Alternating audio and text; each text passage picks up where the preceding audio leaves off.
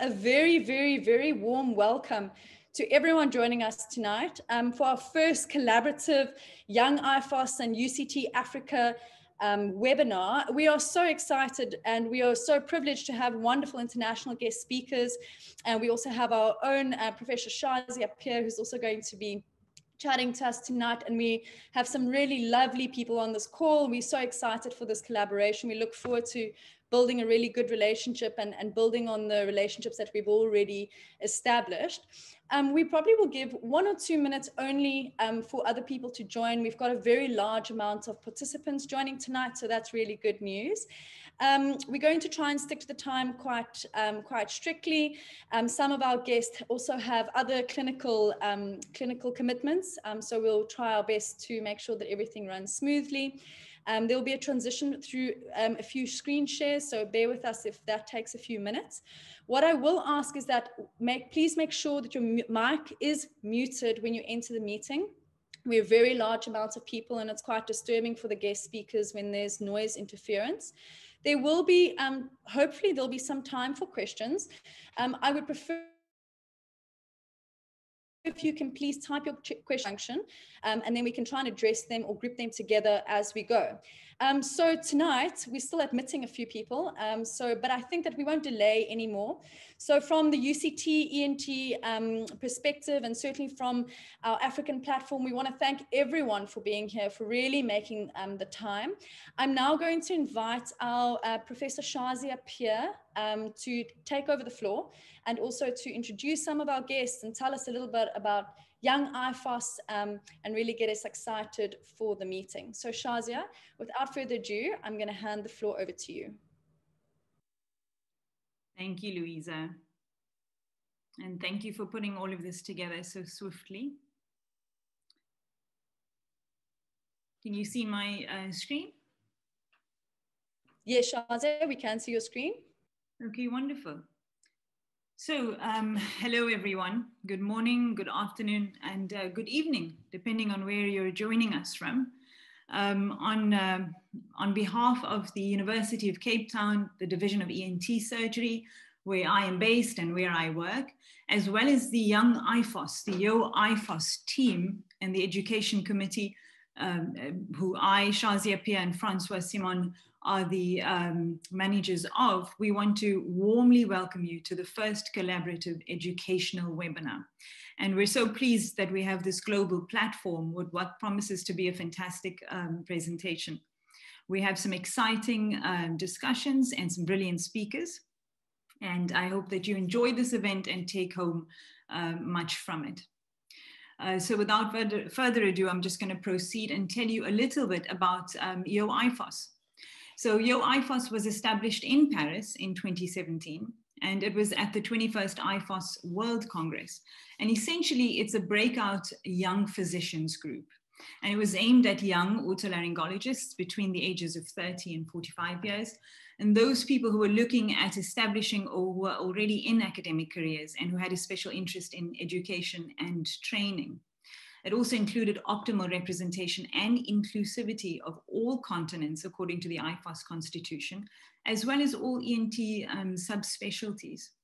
Our current leadership is um, the president, Dr. Nicolas Fakhry, and the secretary, Dr. Natacha Teissier.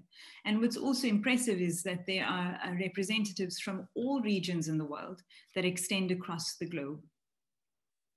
So when Yo IFOS first started, um, a lot of this, the, the discussions um, pretty much focused into four main topics. And the first one was to improve international mobility of young ENT physicians. And that was to start a global network, but also to initiate a website that would then be um, sustainable and would offer people the opportunity to expand. The second goal was the networking of clinical researchers in a given field, and that was through collaborative works, collaborative research, that would also include meta-analysis and systematic reviews, and then teaching materials and international guidelines. And this was to be formulated by the members of the team and to make sure it was open access. And then the last goal was to improve participation of young ENT physicians in international meetings and, and scientific uh, meetings and congresses. And so these goals pretty much uh, followed through and became established into what we currently have as the committees. And so we have four committees, the network committee, research, education and congress organization. And that's where most of the activities rotate around. And so if you get a chance, I would highly recommend going to our website, the Yo IFOS website. It tells you a bit of background about how it all started, but also what's impressive is it tells you what activities are um, happening and how you can get involved and how you can register. And also you can get a lot of educational tools from the website. It um, not only provides information for trainers in education, but also about um, if, if you're interested in an academic career. There are 723 official members, and one can see that it is quite diverse, spreading across the globe. And the website is very often uh, visited. I think what is for me quite astounding in a short space of time was the total number of publications that amounted to 86, and this was audited back in December 2020. Um, and it includes a whole host of subspecialties probably for me the most landmark presentation the most landmark publication was by um, uh, francois simon. And and this the reason why i like this and and i'm bringing it up is because not only did it collaborate with people all across the globe all across subspecialties but it also set up the IVORY guidelines, the instructional videos in uh, otolaryngology. And um, not only did this get published, but it, it, also ushered in an opportunity for people to submit videos that would then be eligible for uh, publication in the European Annals of ENT. So that was quite a nice achievement and well done to Francois for that. What was also quite remarkable was in 2020, the COVID-19 Yo IFOS task force was, uh, was, was established. And I think it set a precedence for how far Yo IFOS could reach. People in this pandemic were feeling very isolated, but what was definitely not short was the, was the resource uh, of, edu of, of, educational tools. And um, Yo IFOS also was uh, able to provide and disseminate information not only in English, but in multiple languages. And this was used as an online learning platform. Quite remarkable was 33 publications. And, um, and we worked across the globe.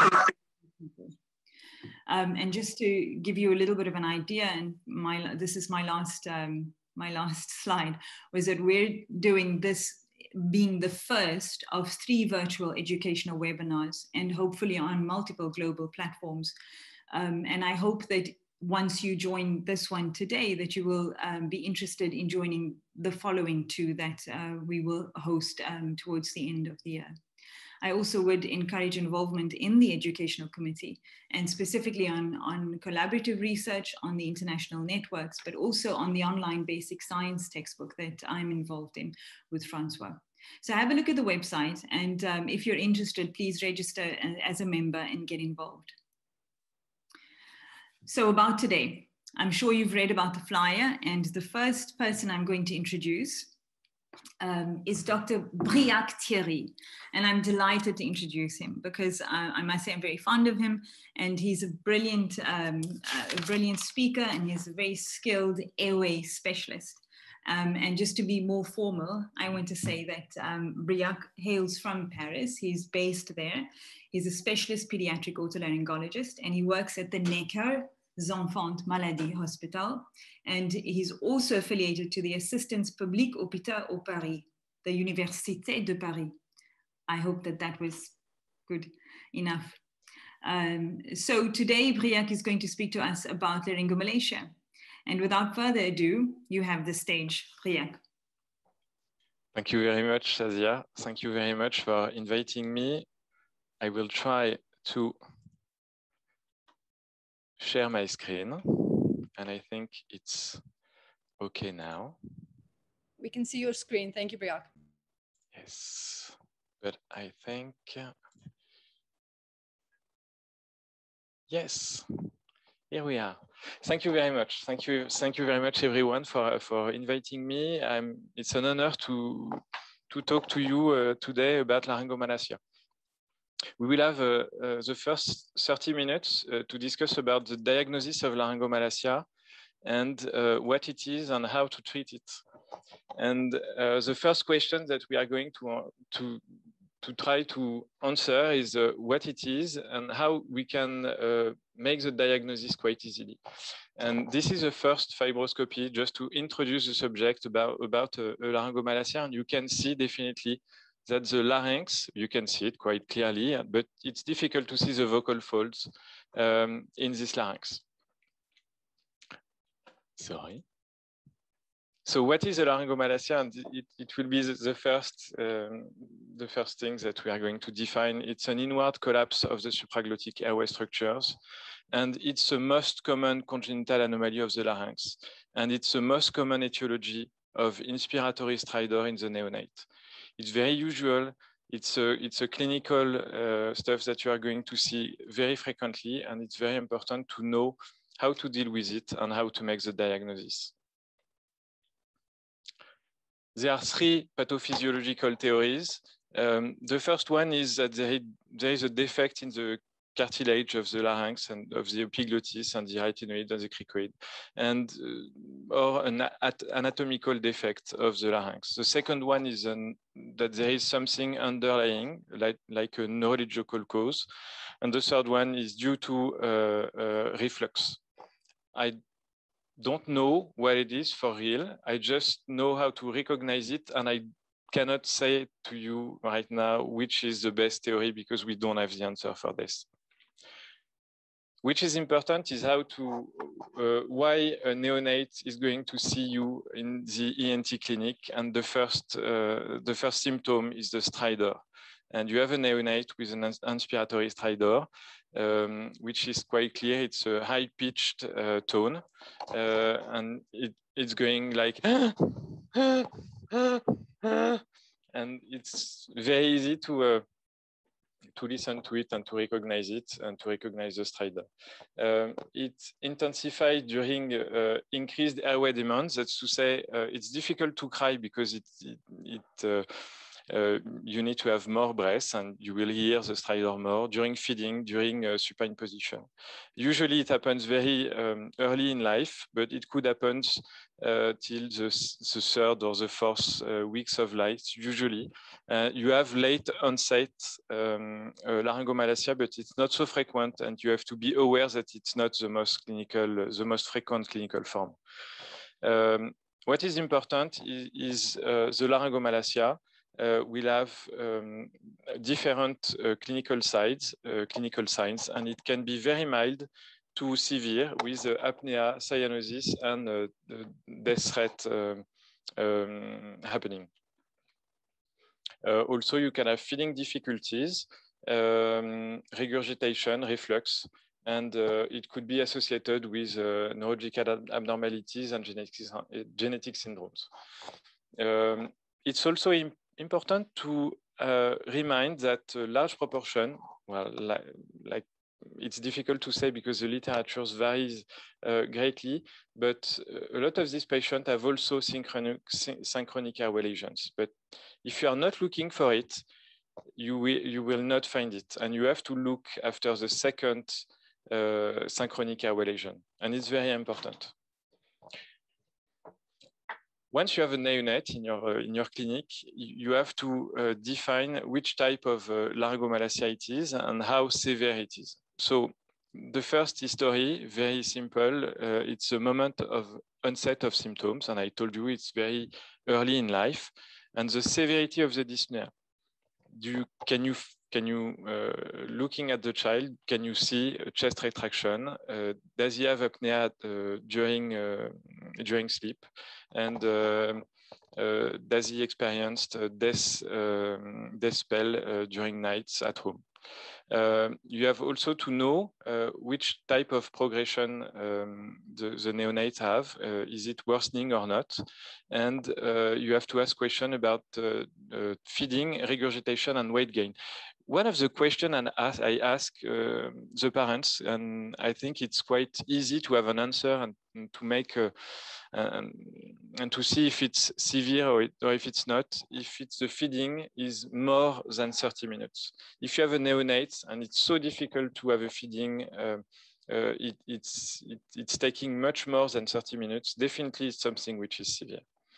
You also have to ask for and to look after the comorbidities because it's not the same thing to um, cure a child with a laryngomalacia with or without cardiac, neurological, and respiratory disease, and also craniofacial dysmorphism.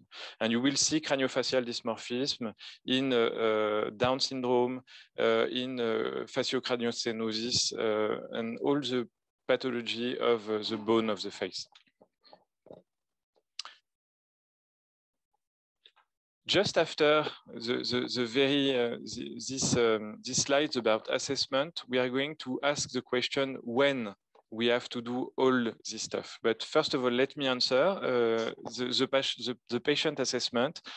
When you have the child in, in your uh, clinic, you need to uh, make the general ENT exam and you have to uh, uh, look at the, the stridor and the dyspnea and all the, the stuff that we just talked about. And you have to perform a transnasal flexible laryngoscopy because this is the way you are going to uh, validate the, the, first hypothesis that the stridor, the noise that you, that you can hear during the, consulta the consultation is really due to a laryngomalacia. The flexible uh, laryngoscopy that you will perform, you will do it during the consultation in an awake uh, children. Uh, you can put some local anesthesia in the nose if you want to. Uh, I think it's not necessary, but definitely there is one thing which is very important for me is not to go under the vocal folds during the consultation because you are because you don't need to go there and because it could be difficult if you have a laryngospasm in consultation and there is this is definitely not the place you want to have to do uh, resuscitation uh, procedure. So laryngospasm is, is not a good thing to have uh, in your consultation. So I, I do not uh, go under the vocal folds during the consultation. And here you can see, as soon as you've performed the flexible, you can see three different types of laryngomalacia, and I will show you pictures just after. The first type, the type one, is an anterior collapse of the aryepiglottic folds on inspirations. The second one is uh, uh, a tubular epiglottis and a medial collapse of the epiglottic folds on inspiration. And the third type is a posterior collapse of epiglottis. Uh, the classification that I, that, I, that I use, sorry, is the classification of Olney. And you have here uh, the definition. The type one, you can see that the arytenoids are, are going uh, uh, in, into the, the, vocal folds in the aspiration. In the type two, you've got this epiglottis uh, which is tubulized and the very short uh, aryepiglottic folds. And in the type 3, you can see that the epiglottis is going uh, backward uh, onto the, the, larynx. And you have you will have the you have the, the pictures at first, and you and you will see the little drawings that we are going to um, uh, have another time during this presentation. So what are the treatment options?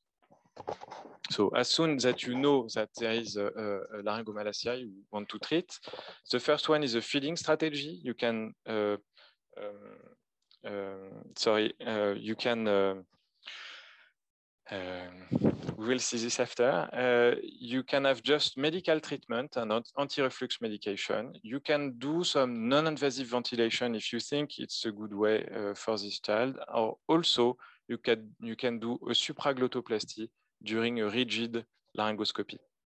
And you are going to see uh, uh when to perform all of this. The first, you definitely need to know if the laryngomalacia, so in the consultation, you, you did the flexible, you know it's a laryngomalacia, so the stridor is due to the laryngomalacia, but you have severity signs, uh, and you have to look after these signs, constant stridor, failure to thrive, apnea, hypoxia, cyanotic spells, or also another sign that you cannot see the vocal folds on the fibroscopy in the consultation. Sorry. Um, I show you this algorithm because I think, well, when I show you this, you're gonna tell me it's gonna it's gonna be difficult. Oh my God, this presentation is gonna be awful. But in fact, everything is described on this, and we'll we will uh, see each point uh, uh, one by one, and you, you're gonna see it's very easy, and everything is written on this. And you can also find the, the, the reference and the article because it's from Dobie, uh, 2013, and very easy to find. The first one, uh, you have a patient, uh, you are not the ENT, you are just the pediatrician at this time. You have a stridor with mild symptoms, and you will and you will you will have to discuss if a flexible fibroscopy is needed to confirm the laryngomalacia or not. If you have the ENT, probably you will perform it. But if you are the, pedi the pediatrician, you can discuss not to do it. And you, you can do, as the, at this time, a periodic visit to the pediatrician to see if the child is going better after. But probably no ENT intervention is required in case of spontaneous resolution. So if you just have stridor with mild symptoms, maybe, and this is the first line, you have a suspicion of laryngomalacia because you just have only the stridor, but you didn't perform the fibroscopy. Just do the periodic visit to pediatrician for, for the, the monitoring of the symptoms. And if the child is going better, so is healed, is cured, and you don't have nothing to do. The second one is the laryngomalacia with moderate symptoms. The child doesn't have any comorbidities. The weight is normal. The feeding is quite good. The voice is normal. You just have an isolated stridor with uh, uh, no cyanotic spell, but you have cough and you may have uh, feeding difficulties. So you will perform the uh, fibroscopy. You will find the laryngomalacia. And so you, you can see, you can, at this time, you can just put some acid suppression therapy and feeding strategy. At this time, there is no need for uh, supraglottoplasty.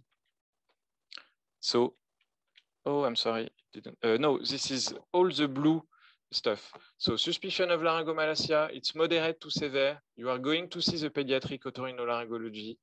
He performs the flexible fiber optic laryngoscopy. Everything is in blue. And you have mild to moderate laryngomalacia, and you just need to do feeding strategies, and you can put some uh, uh, anti-reflux medication. And after, you just follow, and you have the, the clinical follow-up.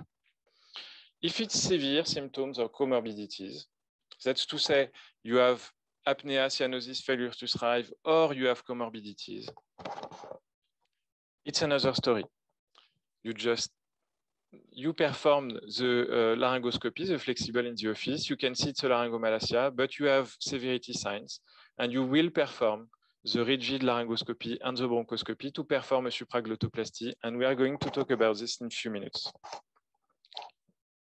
And also there is something that I want to talk about. If you have a stridor and the patient is in your ENT clinic, you definitely will perform the fibroscopy because the patient is in your clinic and you cannot find a laryngomalacia. That's to say, the larynx is normal, but the child is having uh, a, a stridor, so it's not a laryngomalacia, and you definitely need to perform a laryngoscopy or a bronchoscopy to identify another airway lesion. And after, you will do the endoscopic surgical treatment as required for its pathology, which is not a laryngomalacia. This is very important to have this in mind, because if you if you are not looking for, that's what I told you at the very beginning, if you're not looking after the second lesion or another lesion, you won't find it. And you will not find a vallecular kyst, you will not find a kyst under the vocal folds, etc. So it's very important to remind this. So it's uh, you have a suspicion, uh, suspicion of laryngomalacia. You do the flexible in the office. Uh, you, you don't have any laryngomalacia findings to explain the stridor. So you will perform the rigid laryngoscopy and bronchoscopy to identify, to treat the, the other airway lesion. So you saw that with, with this algorithm, which is quite difficult at first, uh, in fact, you have everything. There is something uh, I, I didn't discuss and I, and I will not, it's the place of the tracheostomy, which is under and which is not so frequent for the laryngomalacia. Um, there is another type, um, and maybe we'll have time to discuss about this, uh, which is the specificity of the type 1 laryngomalacia when you, when you see the arytenoids which are collapsing on the anterior part and on the, on the vocal folds. I think uh, and we may discuss about this, it's often associated with comorbidities and especially the neurologic disorders. And when I found, uh, when I find uh, the type 1 laryngomalacia, we definitely perform, if, if you have some severity signs, we definitely perform the treatment, that's to say, supraglottoplasty. But usually, we have disappointing results of the supraglottoplasty because all the larynx uh, is collapsing and uh, it's not as uh, as good as the other type uh, of laryngomalacia. So in conclusion, just for the diagnostic, when to wait when you have a mild, a mild laryngomalacia, when to start a medical treatment when you have a moderate and a severe laryngomalacia, but you also have to operate if you have a severe laryngomalacia or comorbidities. And when to perform a rigid endoscopy if you have the severe laryngomalacia or if you have a stridor without laryngomalacia. Okay, it was just the beginning, and we are going to talk about the surgical treatment right now. So what is the uh, surgery for the laryngomalacia? Uh, no, we are not going to talk about this, I'm sorry. Uh, the treatment of the, of, the, of the laryngomalacia is called the supraglottoplasty.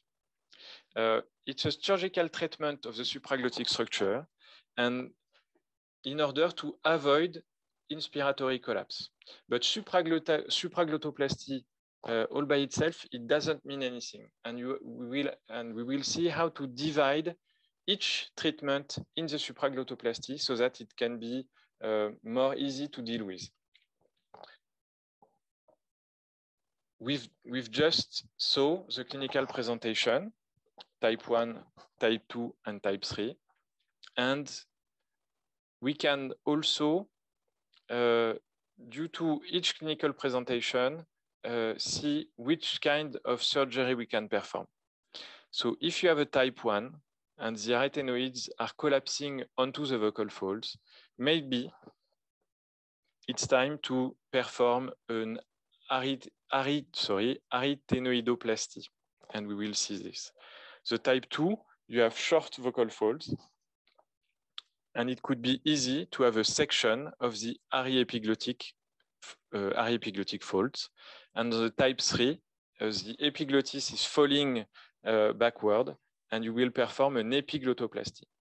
So with the first clinical presentation and the, the different types of laryngomalacia, you will associate for each type um, a different type of surgery. And this is very important because it, I think it makes everything much clearer uh, as soon as you have this in mind. Um, so the section of the, uh, of the aryepiglottic fold is, is quite easy. I will show you some video just after. The surgery of the arytenoids, it could be the debulking of the arytenoids, or it could be an arytenoidoplasty.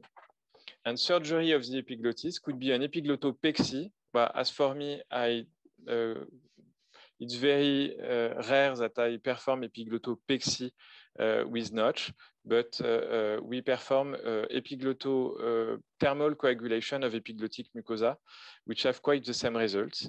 And it could be also epiglottectomy or resection of mucosa along the, the lateral epiglottis.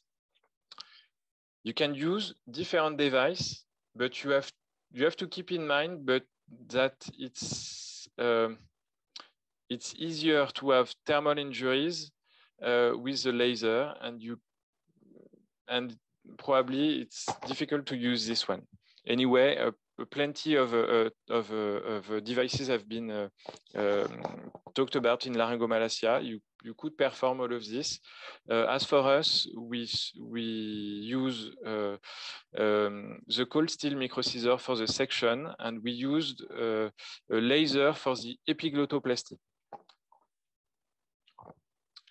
So debulking of the arytenoids for the type 1 um, laryngomalacia, you can, you, we can perform a debulking of the arytenoids. And I will show you some little movies. You can see that the, the, the left, the right, sorry, arytenoid is collapsing at inspiration onto the vocal folds. And you definitely understand why there is a stridor for this child.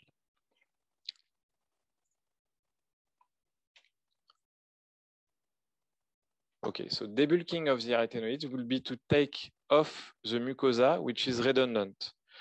I did it with cold scissors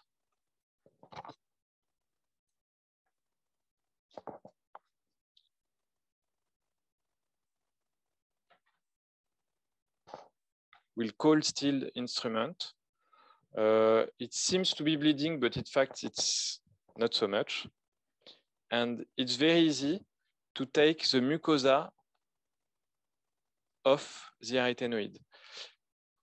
All of this has been performed during a, a, a laryngo-tracheal endoscopy uh, in the operating room during uh, general anesthesia, and the child uh, kept uh, spontaneous ventilation. And uh, for this, we use OptiFlow as um, a, method of ventilation because we think you have the best results uh, for avoiding desaturations. So you can see it's not bleeding so much. And in the end of the surgery, you don't have this redundant mucosa on the right arytenoid. So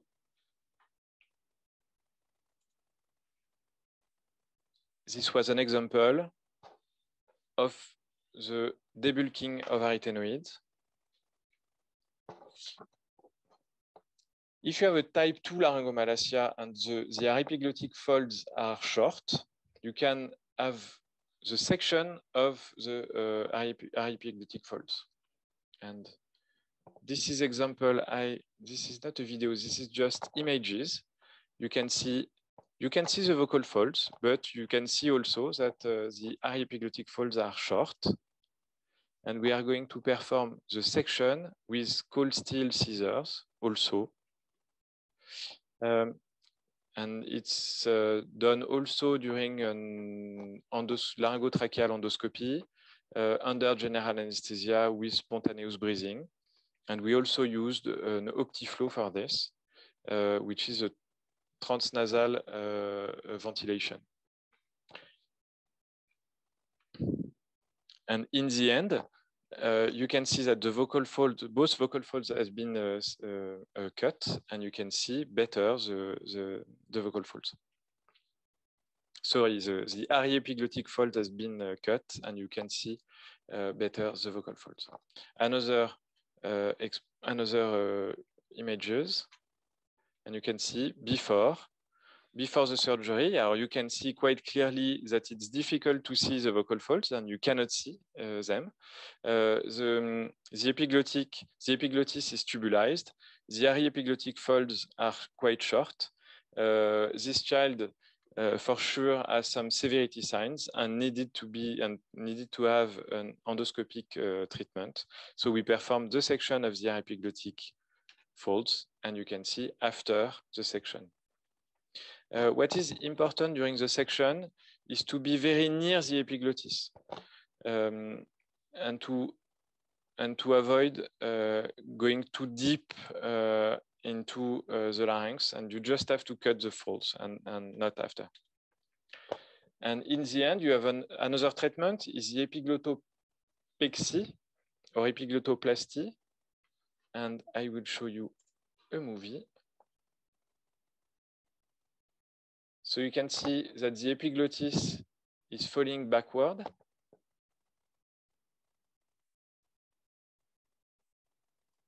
And we will perform, oh, I will pause this. So we have performed thermal coagulation of the epiglottis um, on the lingual uh, face of the epiglottis. And also we performed an arytenoidoplasty of the right arytenoid. And also we cut uh, the, uh, the aryepiglottic folds, both of them. So we combined all the, all the treatment that, that I've showed you uh, just before. Um, and so this is important. As soon, it's very, uh, for the understanding, it's very clear to divide all the treatments that you can do. But once you are in the operating room, you can, of course, perform uh, all of them.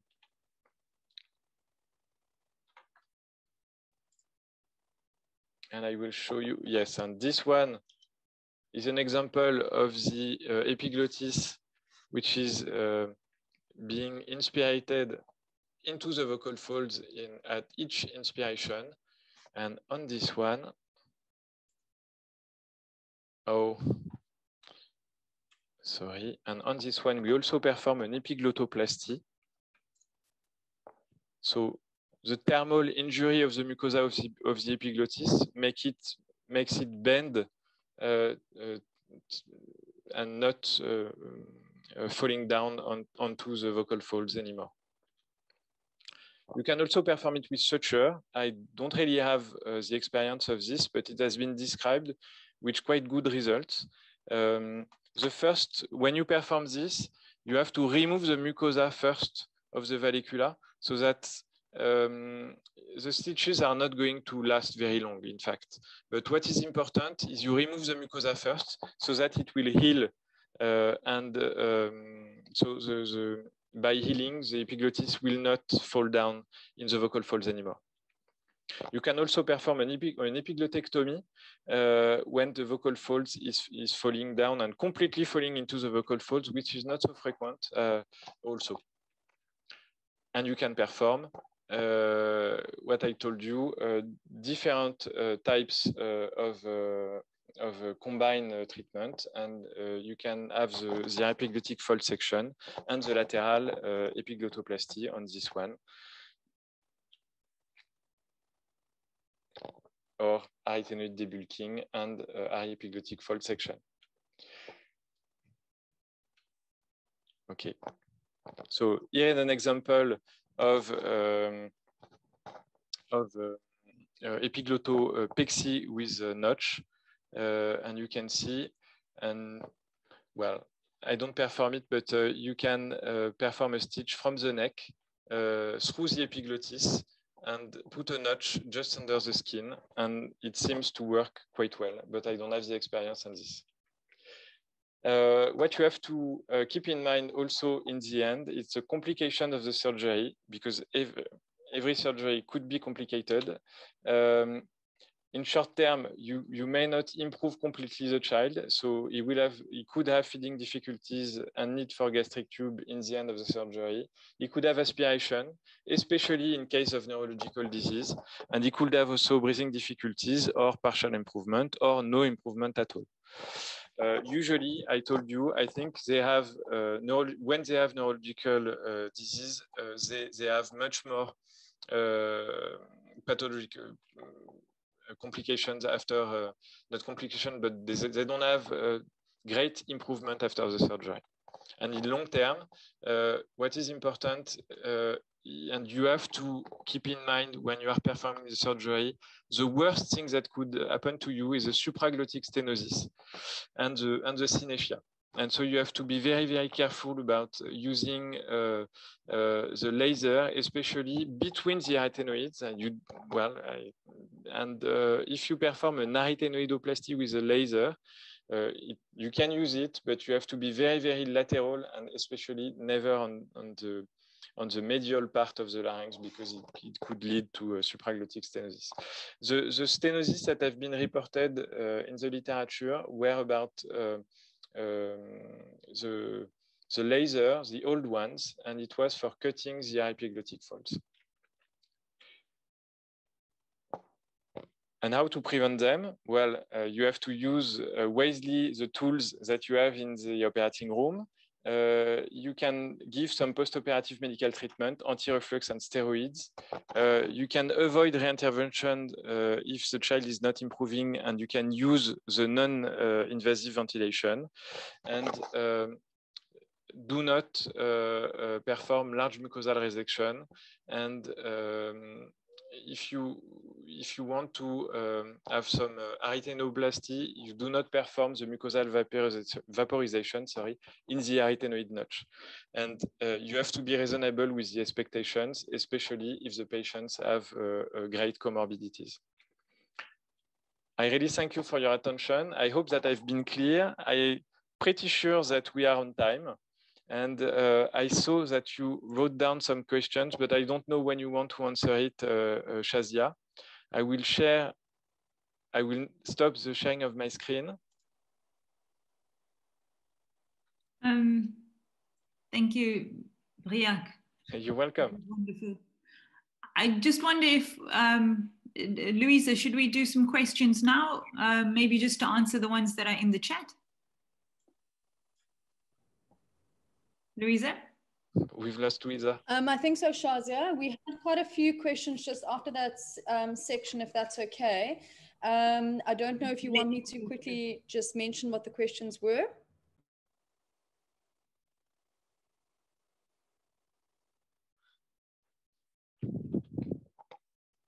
So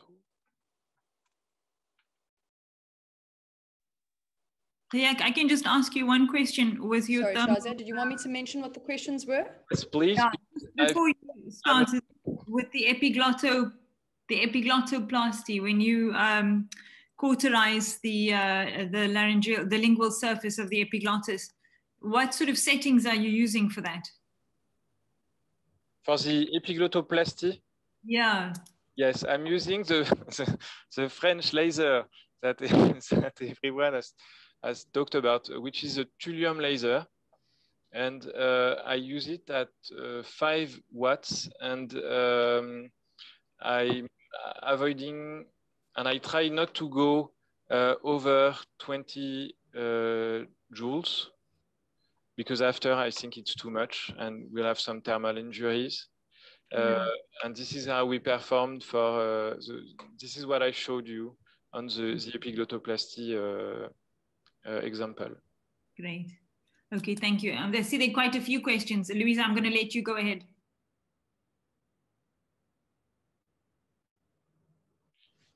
Um, I, I'm reading. Hi, Shazia. Yes, thanks. Um, there are, I, I'm, I'm just, I'm, I'm reading. sorry, go ahead, Briac. Yes, I'm reading few of them. So uh, one, uh, one of uh, the, the question is when you will consider the child for a flexible laryngoscopic examination. So I think we can we, we kind of uh, answer this one. Um, uh, it depends who you are. If you are a pediatrician or if you are an ENT. If you are an ENT and if you, and if you see as an ENT, a pediatric ENT, a child with a with a stridor in your consultation, I'm pretty sure you are going to perform a flexible. But if you are a pediatrician, and if the child just has a stridor with just mild symptoms, maybe it's wise not to send him to the ENT because maybe he doesn't need it. Okay, this is one of the, the answer I can give. Um, oh, the, the, there's a question just under, which is very interesting. Which cases other than laryngomalacia do you go under vocal folds and how to avoid laryngospasm? Uh, alors, in consultation, I'm performing uh, flexible in an awake children and I never, never, ever, ever go under the vocal folds during the consultation because you could have a laryngospasm. If I need to check something which is under the vocal folds, I will go to the surgery room and I will perform an endoscopy with general anesthesia. So there is no other case, and there is no case uh, to go under the vocal folds in the con in consultation. Yeah, I would agree with you on that. Um, uh, what anesthesia technique do you, did you use in that video? Uh, um, uh, it's, I'm sorry for this. Uh, it's um, because I don't know the name in English for this. Uh, we use remifentanil and propofol. Yes. Yes, okay. C'est la même. I'm sorry, it's the same. So it's uh, intravenous uh, anesthesia, propofol, in Remi, yeah?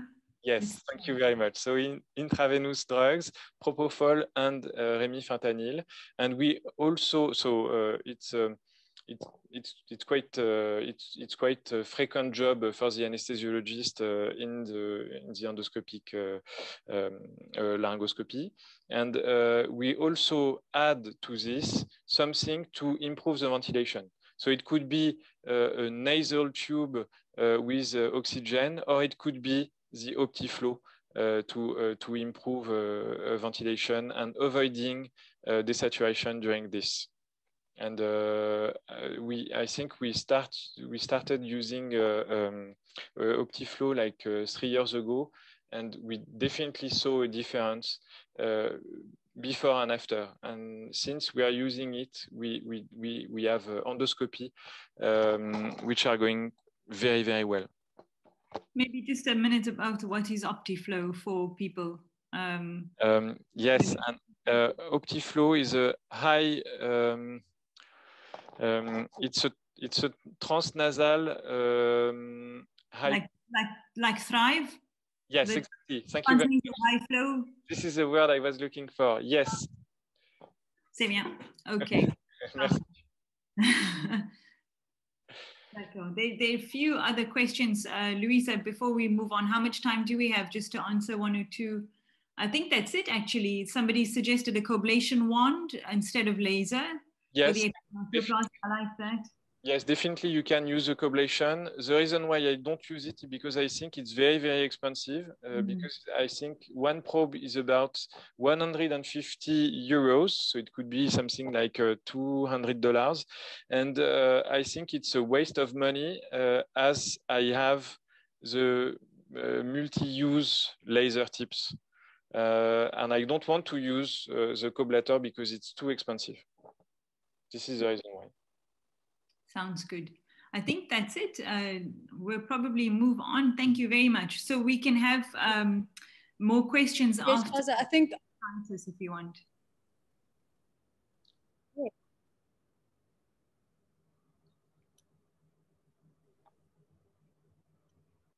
Okay, thank you very much.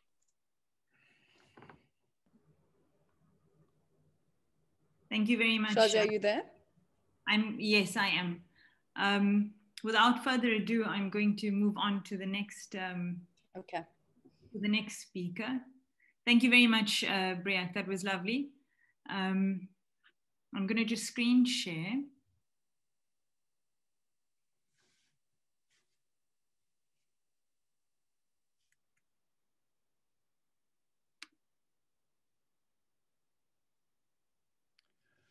see that.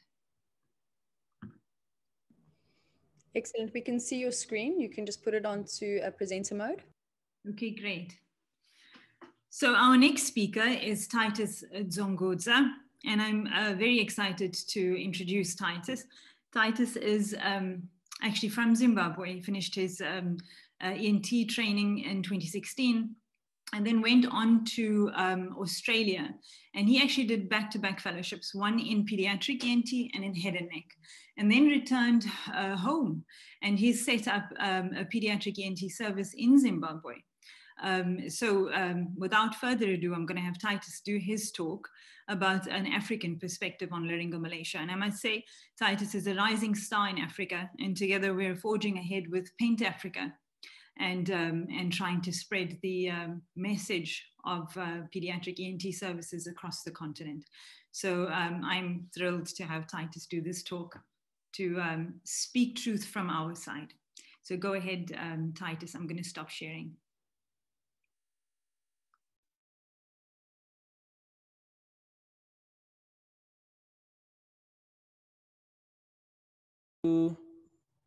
Thank you, Shazia, for the nice introduction.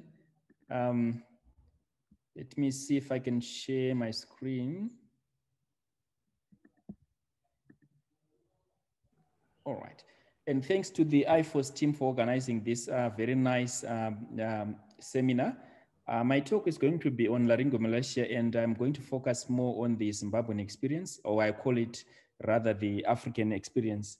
Uh, thanks so much, Briac, for the uh, presentation earlier on. I think it highlighted quite a lot of um, things that I will discuss uh, with the team today. Um, so I'll, just a brief introduction for where, where I'm working from. Zimbabwe is in the southern part of Africa, just north of South Africa. Um, in terms of population, we are about 16.5 million. And uh, like any other country in Africa, we have a very big uh, population of the um, pediatric uh, age group. So about zero to 14, uh, about 40% of our population is below 14 years of age. And we, are, we have a very high birth rate of about 34 births per 1,000 people. And we face quite a lot of uh, health issues uh, of late being the COVID, but we have a, about 13% average HIV prevalence rate. And this can be confounded by uh, TB and malnutrition. So this um, um, graph here just shows how our, our population is dis distributed. As you can see with a very large belly in the um, pediatric as well as young um, adulthood group.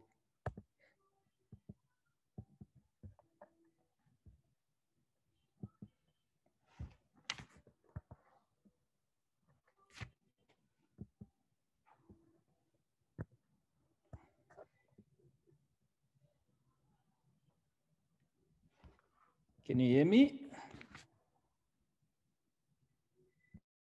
Yes, we can hear you, Titus. Sorry, my screen is just frozen. Let me see if I can play the next slide. No problem. I'm just going to stop Yes, sharing. or perhaps just go one slide back and then um, try again.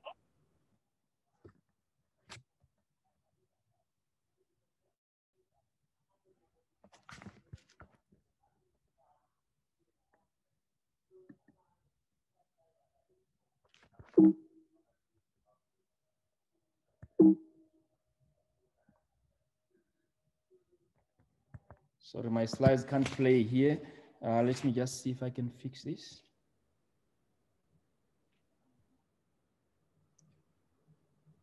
You may be able to just stop sharing the screen and then reshare it, perhaps. Sure. Let me see if I can do that.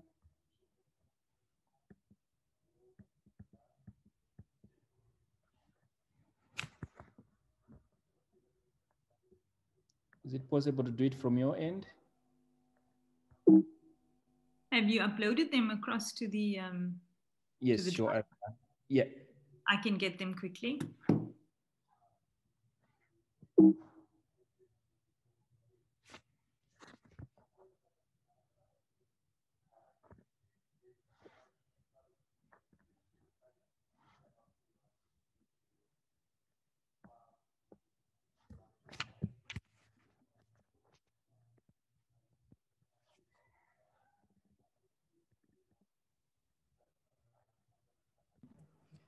Um, that seemed to have worked. think I'm Um, I there. can see you move back a slide.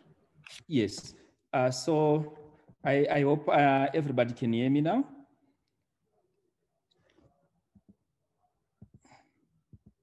I beg your pardon, Titus? Yeah, can you hear me now? Can I go ahead? Yes, please go ahead. Go ahead, we can hear you loud and clear. Thank you. So for those ones who are interested in tourism, we are a very rich, uh, tourist-rich country with uh, Victoria Falls, uh, Great Zimbabwe, uh, Matopos, and you can see all the big five uh, animals that um, we talk about. In terms of our population, about 30% is urban, then the majority is uh, rural, forming about 67%. We have a very big variation in terms of um, our uh, demographics from the rich people to the poorest of the people. And for the rural communities, we often see problems with water and sanitation, as well as malnutrition being quite rampant. So I will not go through this. I think Brian has mentioned it uh, to detail. But what I would like to, to mention is that for uh, our African setting and for our children, we usually put a lot of emphasis on uh, growth monitoring, as this is one of the parameters that most of the pediatricians uh, look at, uh, mainly following up the malnutrition side. But as of the ENT side, um, in terms of laryngomalacia monitoring, it forms one of the uh, fundamentals uh, is growth monitoring or growth faltering is one of the common presentations. In addition to this stridor, we also see aspiration, cyanosis, uh, recurrent pneumonias, and in our setting particularly, we also see children who have uh, quite severe cardiac disease uh, in the form of cor pulmonale from um, the um, effects of um, uh, laryngomalacia.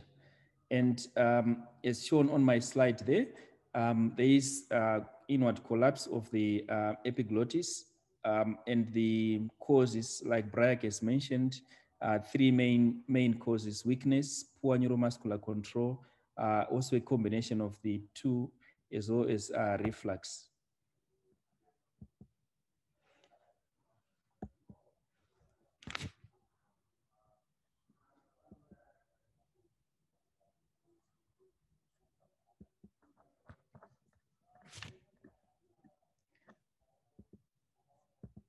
So in terms of uh, differ differential diagnosis, um, in our population, we see about 10% of the patients having uh, multiple comorbidities. Um, some of the things that uh, were discussed uh, in Briac's presentation include um, exclusion of other causes of uh, pediatric stridor. I'll put particular emphasis on uh, laryngoscopy and bronchoscopy uh, in a child that we are taking to surgery for or to theater for laryngomalacia.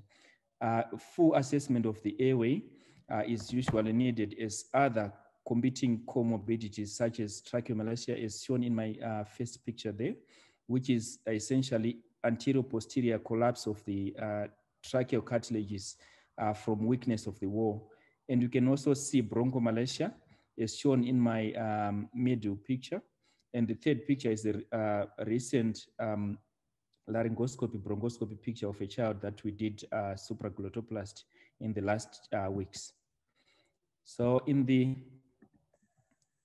in the clinic, flexible uh, laryngoscopy for the moderate to severe case, cases is quite uh, important as a diagnostic tool.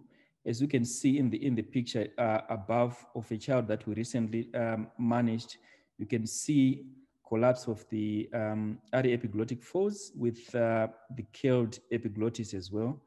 Um, and I would like to emphasize uh, that with flexible laryngoscopy, our um, limit is actually the vocal cords and like Briac has mentioned, I'll just reiterate that um, going beyond the vocal cords is only for um, cases that we uh, take to theater, as you can um, potentially um, cause severe laryngospasm and you might end up losing the patient in clinic. And the uh, video which is playing is showing the uh, inward collapse of the epiglottic folds in a child who's uh, under general anesthesia.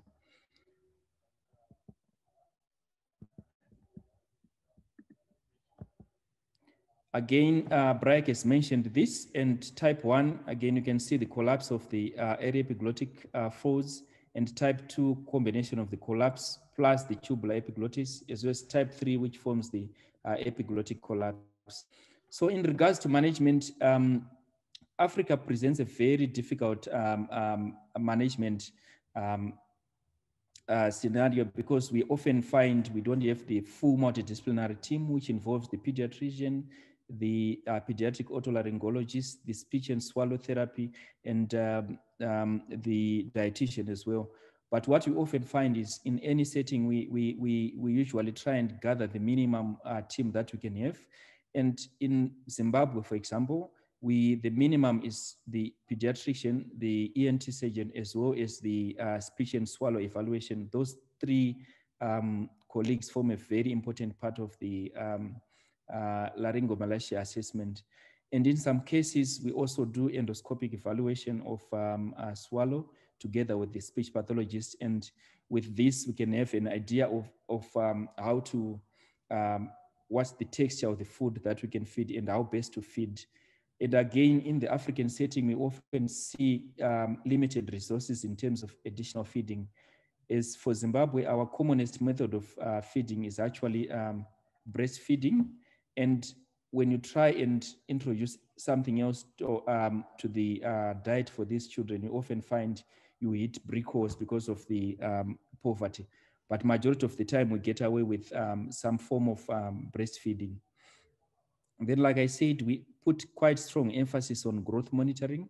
Any child with moderate to severe laryngomalacia, our recommendations are weekly weights uh, for about one to two months, depending on when would want to intervene if the child falters in two to three consecutive weeks uh, or loses weight in two to three consecutive weeks, then we always consider uh, moving a step further to, uh, to surgery.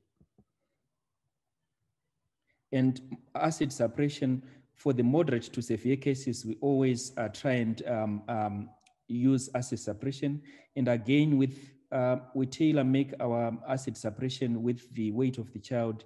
If the child gains weight, we always involve our pediatrician in the prescriptions for, for the acid suppression. And in addition to this, we usually every two to three weeks when we see these patients, we uh, encourage them, the speech pathologist, to have an assessment as well as to what they can feed and the dietitian to try and tailor make the, the, the requirements for these children. in regards to surgery, um, because of the different hospitals that I work in, we often find different um, uh, setup in terms of equipment, but the basic um, uh, laryngoscopy or panendoscopy uh, set for the children is actually the uh, Mayos table, which I've just, uh, which you can see in this picture, and the tower, as well as different uh, types of laryngoscopes, as well as different types of uh, uh, endotracheal tubes. And in terms of airway assessment, a Macintosh laryngoscope is shown in the in the diagram in the picture there, together with a zero degree four four millimeter scope, is what we usually use topicalization of the airway, we routinely do it with uh, uh, lignocaine uh, as well as with adrenal adrenaline. And in terms of the anesthesia, uh, the most favorable one is Thrive, but in some cases, we often use the um, nasopharyngeal airway um, or an, an endotracheal tube in the nasopharynx or an oropharyngeal endotracheal tube together with um, uh, the remifentanil and propofol as discussed in the last picture. And in terms of inclusion, exclusion of differential diagnosis, um, this is essential in, uh, sorry.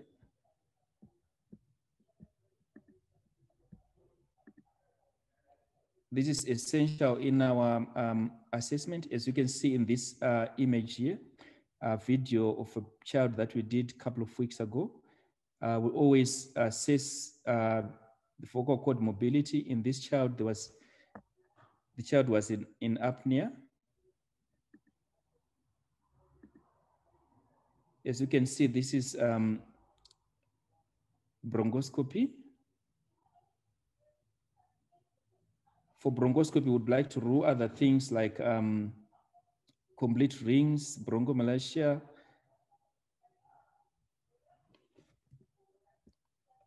or tracheal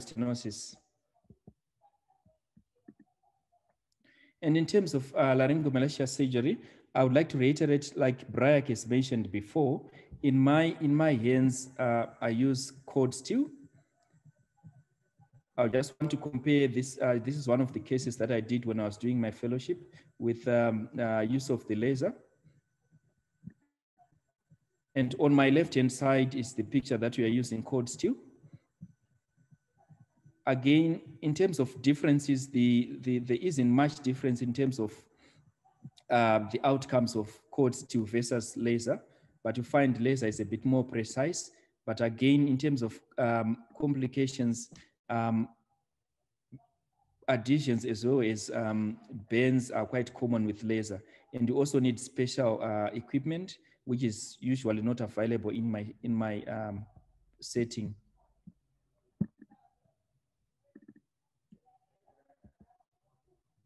Again, this was mentioned in the last slide, and in the I just want to mention in the uh, in in picture B, which is the middle uh, picture, you can see part of the epiglottis was also shaved away um, to um, open up the uh, airway. This is often what what we do in the event of a combination of aryepiglottic collapse as well as epiglottic collapse. Again, in terms of results and equipment, um, I think the most important thing for surgeons in uh, low resource, uh, resource settings is to be able to do a surgery in a safe way uh, with the minimum equipment to achieve uh, the best results for our children because we often find um, um, equipment issues being quite a big uh, problem in most of these settings. So as long as we keep safe and make sure that we do the, the um, minimum essential surgery for these cases, we should be able to get very good uh, results.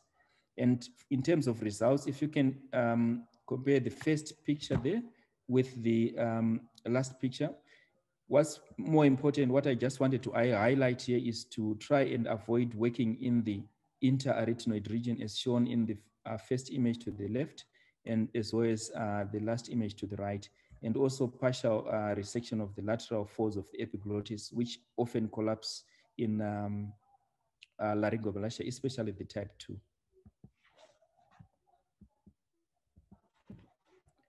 Sorry, my, my slides keep, ju keep jumping, but I should be able to resolve this. So in terms of um, um, special circumstances, again, we often find in some clinics, especially resource limited settings, we often find the there is not a there is not a flexible uh, laryngoscopy. Either the flexible laryngoscopy is too big, or you cannot use it either too small or is broken. I would say in that scenario, in cases where the child is um, suspected um, moderate to severe laryngomalacia, it's often important to take the children for um, examination under anesthesia um, to exclude other airway comorbidities as well as to confirm uh, or refute the differential diagnosis of um, uh, laryngomalacia. And one more important thing is for um, resource limited settings as well, use of a Mayo table uh, and instead of a compression of the chest is very important uh, and that will uh, improve uh, the oxygenation levels and make the anesthesia a bit easy to, to give. Then the uh, third scenario is for the 5 to 10% of the cases who may fail to improve uh, despite conventional supraglottoplasty. These are children that we have to consider for a possible um, um, tracheostomy and or feeding gastrostomy again, in resource limited settings, it's a decision that you have to um, consider uh, carefully as because the management of tracheostomy is not as straightforward in the uh, um, resource limited settings because the tracheostomy tubes are not available, the suction uh, machines are not available, or you need a solar driven or a manual uh, suction catheter. And you're also dealing with uh, parents who might not be well educated to be able to take care of this um, child in the um, rural areas and issues with uh, transport in the event of uh, tracheal tube blockage have to be considered when you when you consider um, uh, uh, tracheostomy as a form of uh, treatment for laryngomalacia.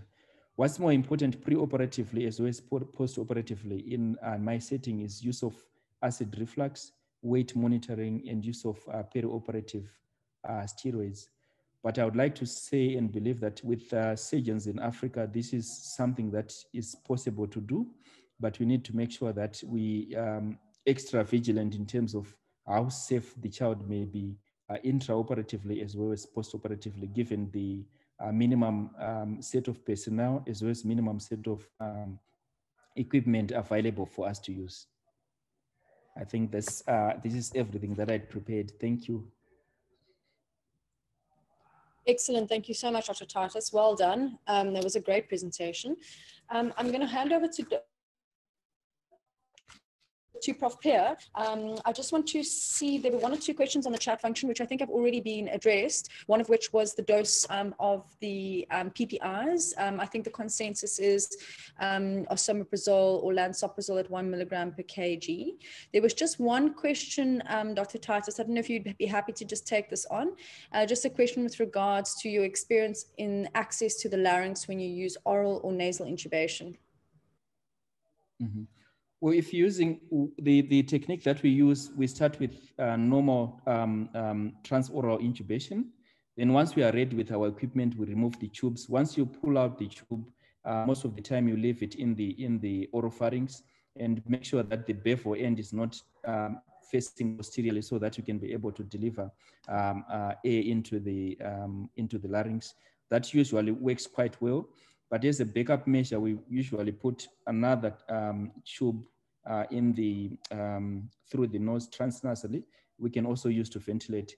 And during the procedure, we also we we use um, we intubate and extubate depending on the uh, monitoring of the saturations.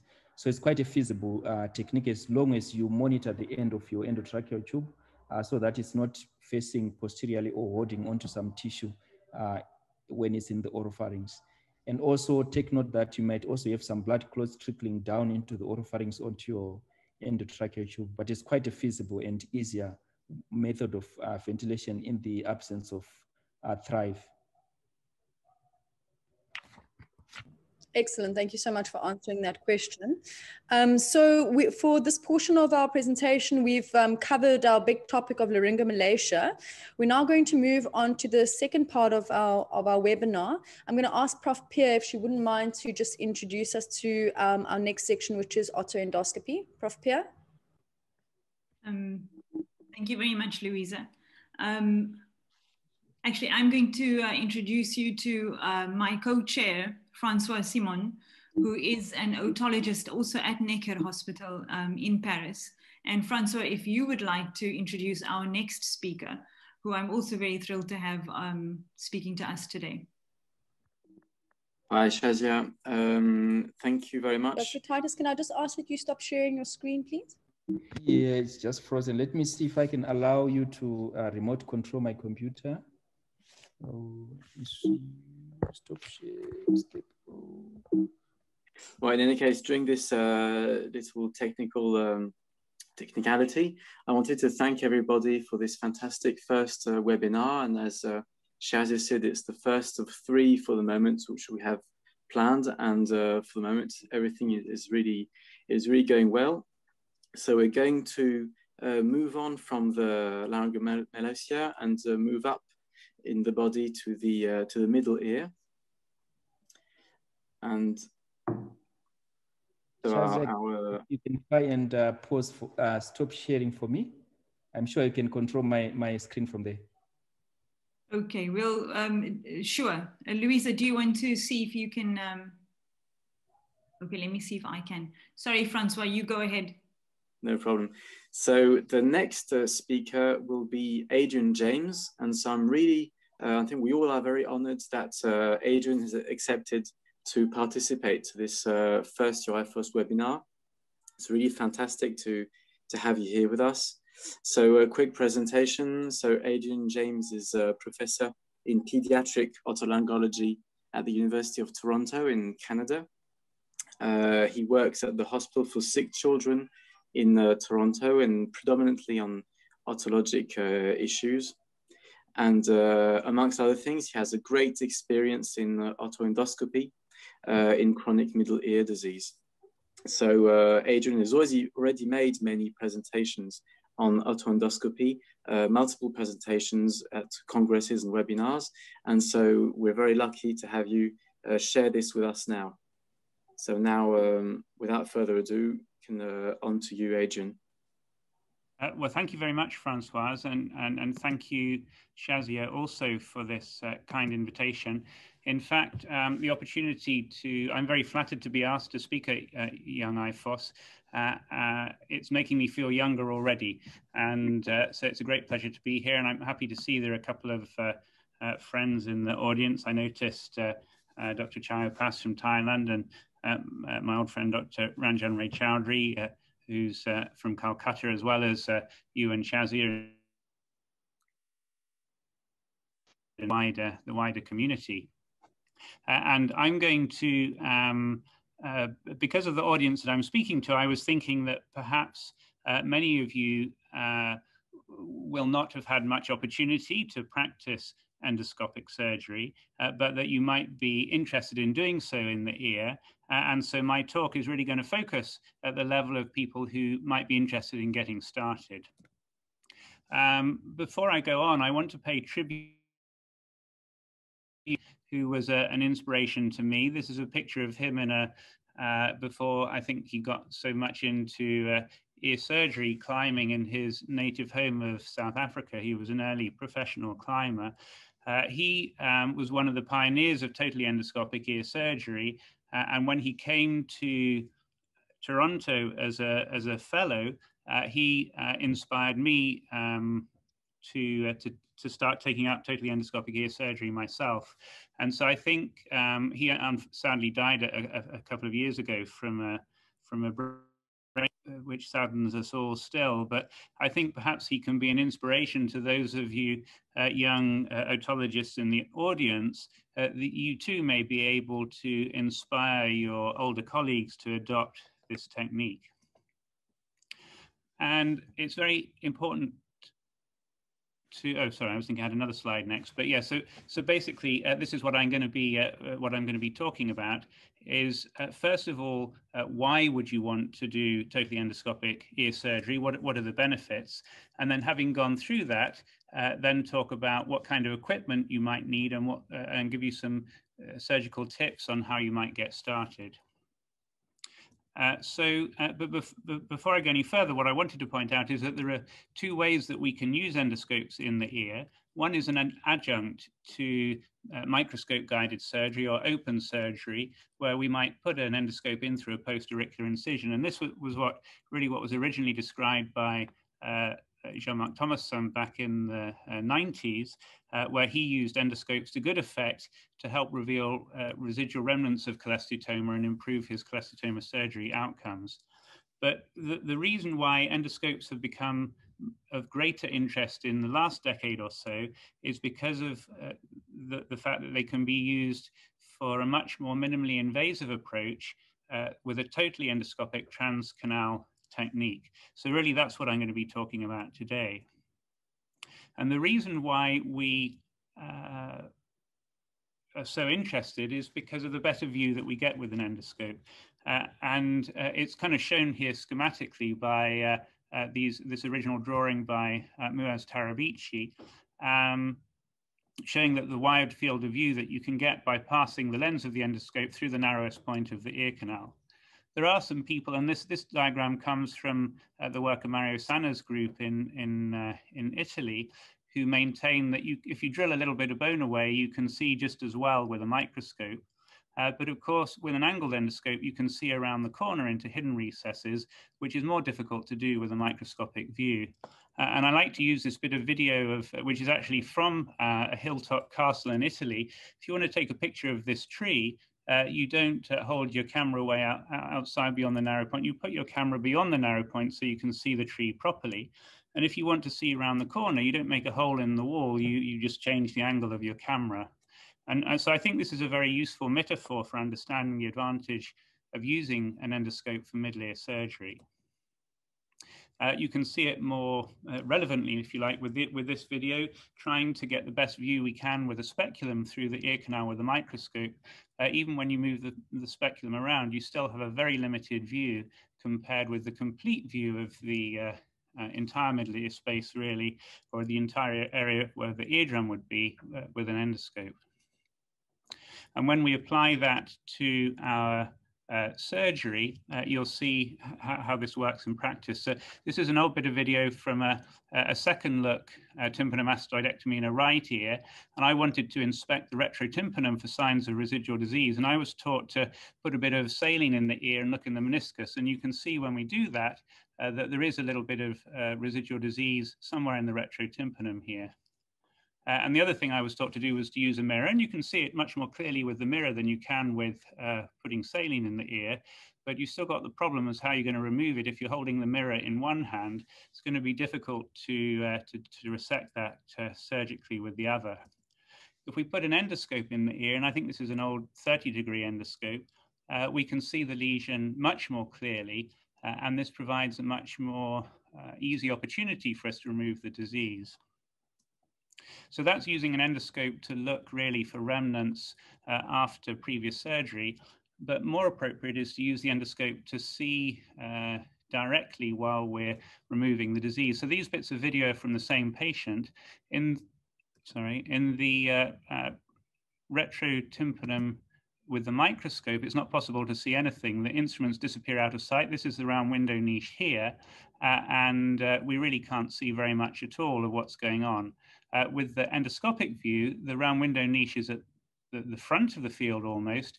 We can see the entire retrotympanum very clearly, and so we're able to dissect the skin off the um, uh, out of the recess here under direct vision and make sure that we don't leave any behind. Uh, and so we now have data to, to show that this technique is effective. Uh, one of our um, bright young residents, Peter Dixon, did a propensity score analysis, which is a fancy way of doing a matched pair analysis, comparing uh, outcomes from surgery for cholesteatoma confined to the, the middle ear and attic uh, when using uh, a totally endoscopic approach or a post-auricular approach. And it's important to note that in the post-auricular approach, uh, I did, uh, in some cases, have access to use an endoscope for the surgery if I wanted to. Really, the aim of this, this, this study was to see if having access to a two-handed approach uh, reduced the risk of residual disease, but clearly it didn't. With the one-handed endoscopic approach, um, results were at least as good as um, the, the, the, residual disease rate was was um, appeared to be better than uh, than with the post-auricular approach. This now this with this with this number of patients, 128 patients, there wasn't statistical significance, but when uh, we add these results to a recent uh, meta-analysis, uh, you can see that uh, others uh, also failed really to achieve significance. But when we put all our results together with a decent number of patients, we do see that there's a statistically significant difference in the risk of residual cholesteatoma when we do totally endoscopic surgery. When it comes to other outcomes, uh, surgical outcomes like closing a tympanic membrane perforation, uh, the results aren't really uh, any different. Actually, in my hands, uh, the success rate in this older publication and, and looking at my more uh, up-to-date numbers, the success rate is pretty much the same whether I do it totally endoscopically or post-auricularly uh, at around 85% uh, for, for closing the perforation. And, and there are a few meta-analyses now that look that pool other people's data and come to the same conclusion. So there's not really much benefit in terms of closing uh, perforation. And similarly, when we look at uh, ossiculoplasty results, and our, our, results are going to be published soon, and other uh, groups of surgeons have, have, published their results showing that uh, when we do total ossicular replacement prosthesis ossiculoplasty, uh, the results are no, uh, no better or no worse. So again, the two-handed approach, uh, although it might be a little bit easier to position a prosthesis with two hands, uh, the results turn out, don't turn out to be any better um, with either technique. So you might be beginning to think, well, if the results aren't, you know, that clearly better, why why would we do uh, the endoscopic uh, approach? Because it is more difficult. We have to do the surgery just with one hand, and, and that does make it difficult at times. And the real reason is because, uh, in my opinion anyway, is that because the morbidity is less when we do surgery through the ear canal, uh, particularly when we compare it with a post-auricular incision.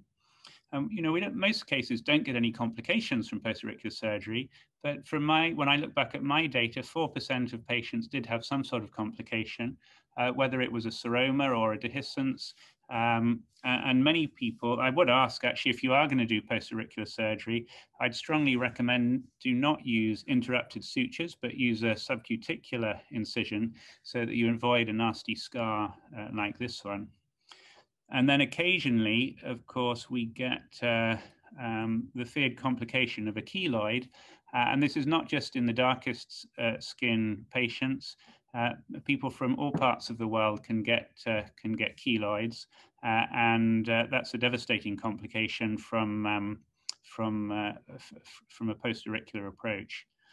or we might end up with a fistula into the mastoid like this one. So these are all things that can happen after post-auricular surgery, albeit rarely.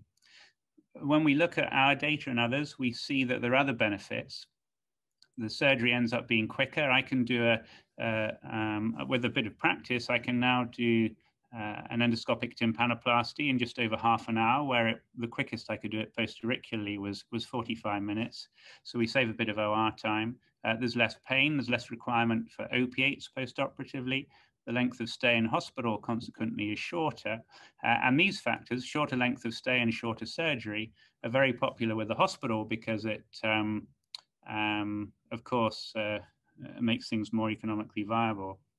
But the biggest, oh, sorry, my computer's just fallen over. Are you still, uh, are you still there? Yes, we're still here. Yeah. um, the, um, the biggest, and that's actually, that's a good time to pause for emphasis, in fact, because the biggest driver for me for doing uh, totally endoscopic surgery in my pediatric practice is that parents greatly prefer it if their child uh, avoids an incision. And it's hard to um, overemphasize really how important it is for the parents. To us, a little incision behind the ear doesn't seem like a big deal, but for families and their kids, it, it means a lot to them to avoid that incision. Um, this is uh, so. So we have these um, benefits of um, more effective cholesteatoma removal. Although perforation closure and hearing results are similar, there's definitely less morbidity when using a transcanal approach. And our um, friends in uh, Sydney, uh, Nirmal Patel, showed at least in an Australian model that you can demonstrate uh, cost effectiveness by uh, doing surgery totally endoscopically rather than using an open microscope guided approach.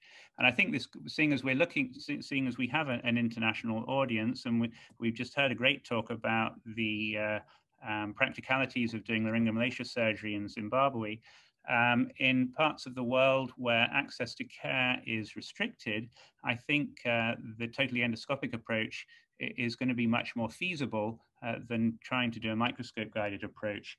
I um, vividly remember um, a talk at the first um, Endoscopic World Congress, which was a long time ago, it must have been 10 years ago or so now, by um, uh, a doctor from Kenya, I think it was Dr. Chinyomamo uh, Alende, who gave a very nice presentation of how she could do totally endoscopic ear surgery off her laptop with a camera and portable light source uh, and use that as a, in a, in a um, to, to, to, operate in in uh, in areas where um, hospital facilities were restricted. So definitely uh, an, an, opportunity uh, internationally to use this technique. Uh, I would say I think we also we don't talk enough about sustainability uh, and trying to reduce our impact on the environment of our surgery. At the end of an operation, we uh, throw away a lot of. It's embarrassing actually how much we throw away at the end of a surgery uh, in our uh, operating room and probably in others too. Uh, this bag here represents the um, disposable items that are required when we do a microscope guided approach, including things like the microscope drape and the uh, cautery and the bandages and the sutures and the scalpels, obviously not the blades in here. Uh, and this weighs a kilogram. So with one, and it costs about 50 or $60 to buy this, uh, what ends up being garbage. So uh, that's all waste. And by the end, by the end of an operating list, uh, we maybe have this much. Uh, by the end of a, a, month, we might have this much. And by the end of a year, we probably, uh, who knows how much unnecessary plastic waste we've generated by um, using equipment that we don't need. Uh, and so I've, I'm able to save quite a lot by doing surgery endoscopically. Uh, probably most of it gets incinerated and turned into carbon dioxide, but that which doesn't maybe ends up on a beach near you. Uh, and so um, perhaps more important than whether we do surgery endoscopically or not uh, is how we uh, reduce our footprint on the environment. But anyway, that's uh, perhaps too much of an aside. If we uh, get back to the, the topic of uh, that I was asked to talk about of endoscopic ear surgery, let's assume that we're convinced that the benefits are worth it for our patients and it's something we get want to get into. How do we get started? And um, normally, um, in the pre-pandemic world, I would have said go somewhere uh, where you can uh, do a course and learn how to do it uh, in, in, on models and, and, maybe watch some live surgery. Uh, that's a bit more difficult at the moment, but maybe, as I'll show you, maybe we can set up our own training models and watch surgical videos online and perhaps get started uh, carefully without a course. So I'll talk about how we get trained and then what equipment we may need uh, to, uh, to get going.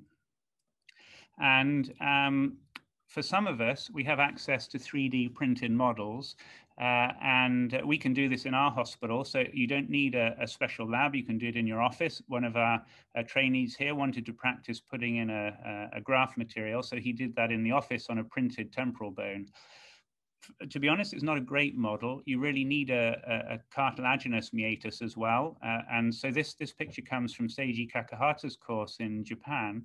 Uh, and they have put a lot of time and money into um, building very high fidelity um, models. You can see the, the, the, the, ossicles very clearly in this printed model, uh, which is, of course, um, parts of it can be reused. Uh, and they have a kind of silastic ear, which cushions the endoscope and make, gives a more realistic feel. So that um, is great in settings where you don't have access to a wet lab or cadaveric material, uh, but there are some limitations. And I think the difficult thing to practice really is the soft tissue handling. So if you can, it's better to use a, a cadaveric head uh, and it's much better to use fresh frozen material, fresh or frozen material rather than formalin material because the formalin stiffens the soft tissue, so gives a very unrealistic feel for endoscopic surgery. Um, our um, friends in Italy, um, um Marco Bonali was the lead behind this work, have used the sheep, um, sheep heads to, to good effect. So they find that very effective. Uh, we're not allowed to use that here for various reasons. So we've recently done a course for our residents with goat heads. Uh, and so I think many of you around the world might be able to access these materials. Human, the trouble with human heads, although of course they're a perfect model, uh, they're very expensive for most of us and difficult to get hold of. Uh, so not really feasible for residency teaching in our program. So uh, we use this goat model and here you can see that, that it's a left ear, the malleus handle here, the chorda tympani, facial nerve coming around here, trying to position an ossiculoplasty. The anatomy is a bit weird and different, but it's close enough that it makes a good training model. So uh, I do think if you do get the opportunity to use the endoscope in simulation first, that's obviously ideal. If not, then uh, you're just going to have to start gradually and carefully. Uh, and you may use endoscopes as, a, as an assistant to a microscope guided approach first before you try and do surgery totally endoscopically. Uh, but when you are um, graduating into totally endoscopic ear surgery in a patient, uh, and this is true whether you're doing it yourself or whether you're teaching uh, trainees yourself, it's very important to think of a graded, uh, a sort of hierarchical approach to, to risk. Uh, and I initially used to think, well, uh, we should start with the safe, easy things and then progressively move to the riskier and, and, and more difficult things. But what I realized after a while is actually it's a good idea to start with difficult things if they're safe, as long as there's low risk to the patient. If you practice difficult things, then the easier things turn out to be even easier. An example of that is actually trimming the hairs, because the we, we need to trim the hairs of the external auditory meatus so we can see clearly. It's quite difficult to balance the endoscope near the outside of the ear and trim the hairs, so that can be quite a tricky thing to do, but it's a great thing to practice.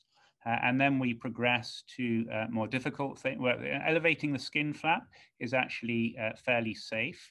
Uh, and then when you've mastered that, then elevating the annulus um, is maybe the next step. I put making the incision down here because um, I want to be sure that the incision in the ear canal is in the right place. And uh, uh, when people are starting, they don't necessarily have a good feel for that. So I normally do a few cases with the trainee before I let them make the incision.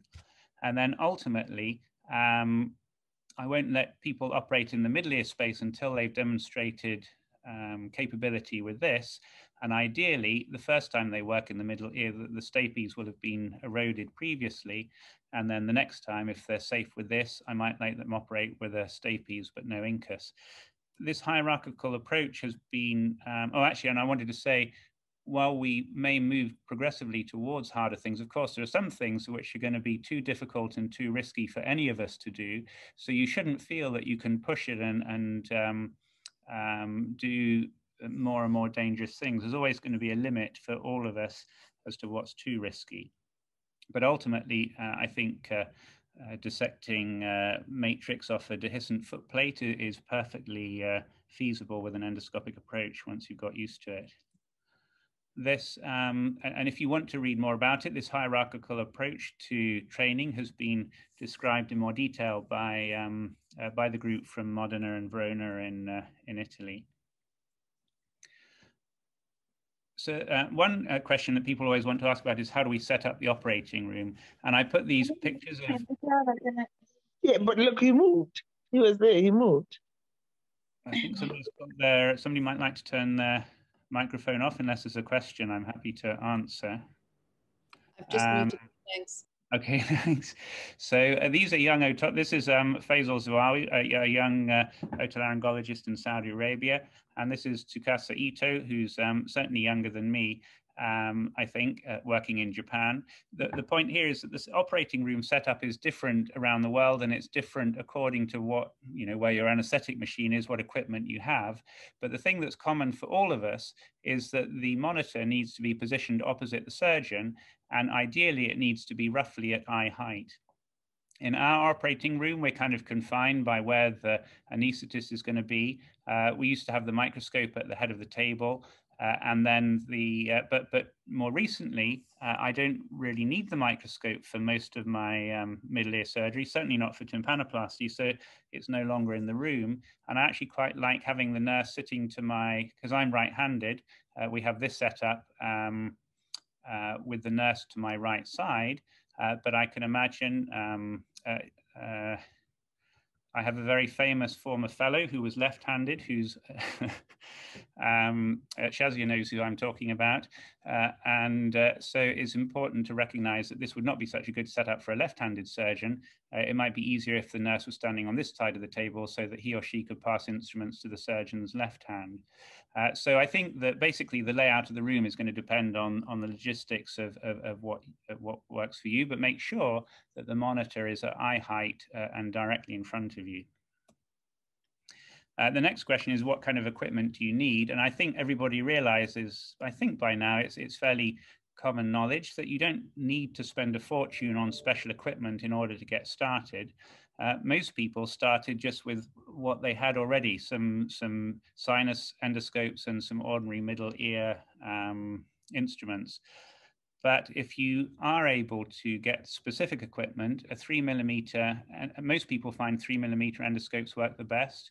Um, a zero degree endoscope is most useful, followed by a 30 degree and then sometimes 45 degree.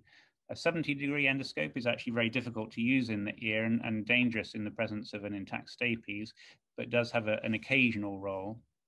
And for most people, a 14 centimeter scope is the most convenient length, although um, uh, Seiji Kakehata, I mentioned in Japan, uses 2.7 millimeter scopes that I think are 18 centimeters. So different things work for different people. If you are using angled endoscopes, you of course need angled instruments to reach where the endoscope can see. Uh, and there are now commercially available sets uh, for this.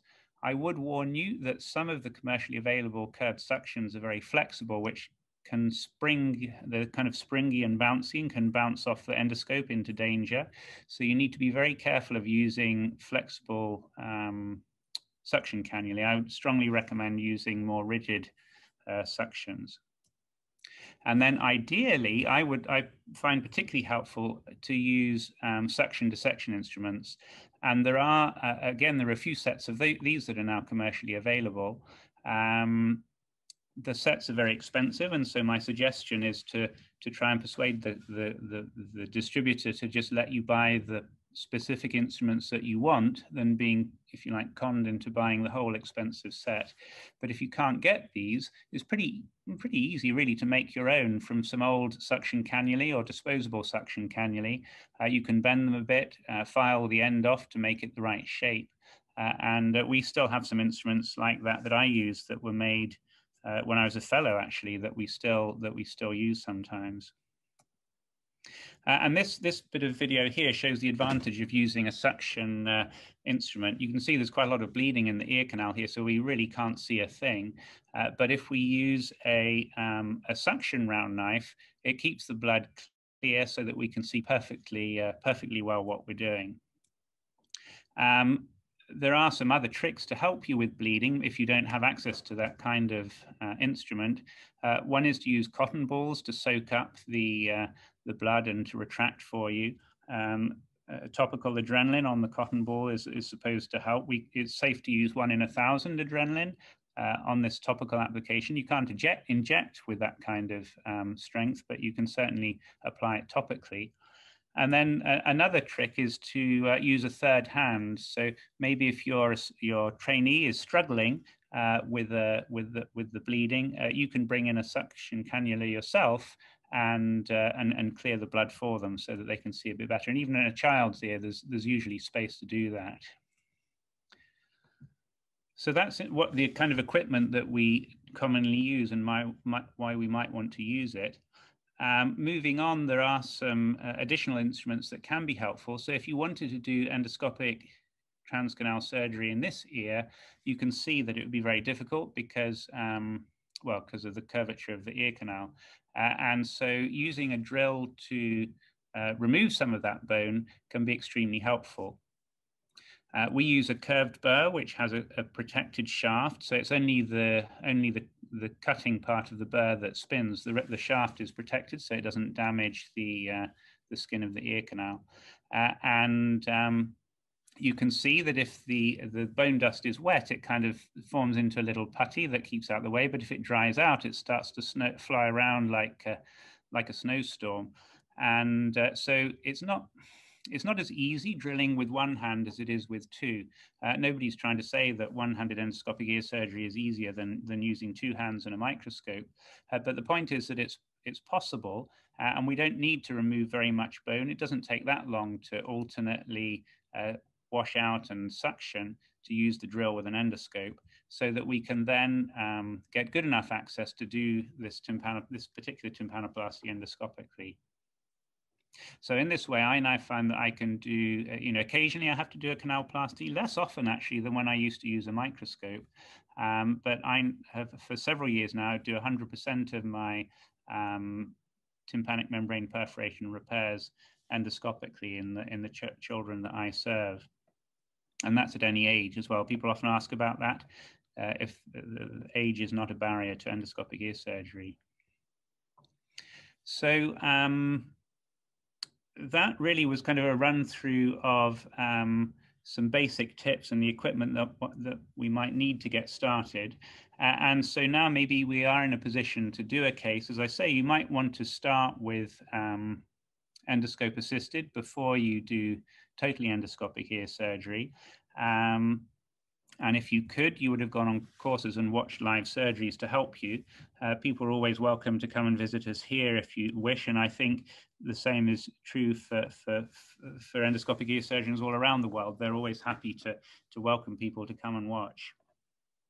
Um, so hopefully people will get the chance to do that over the next year or so.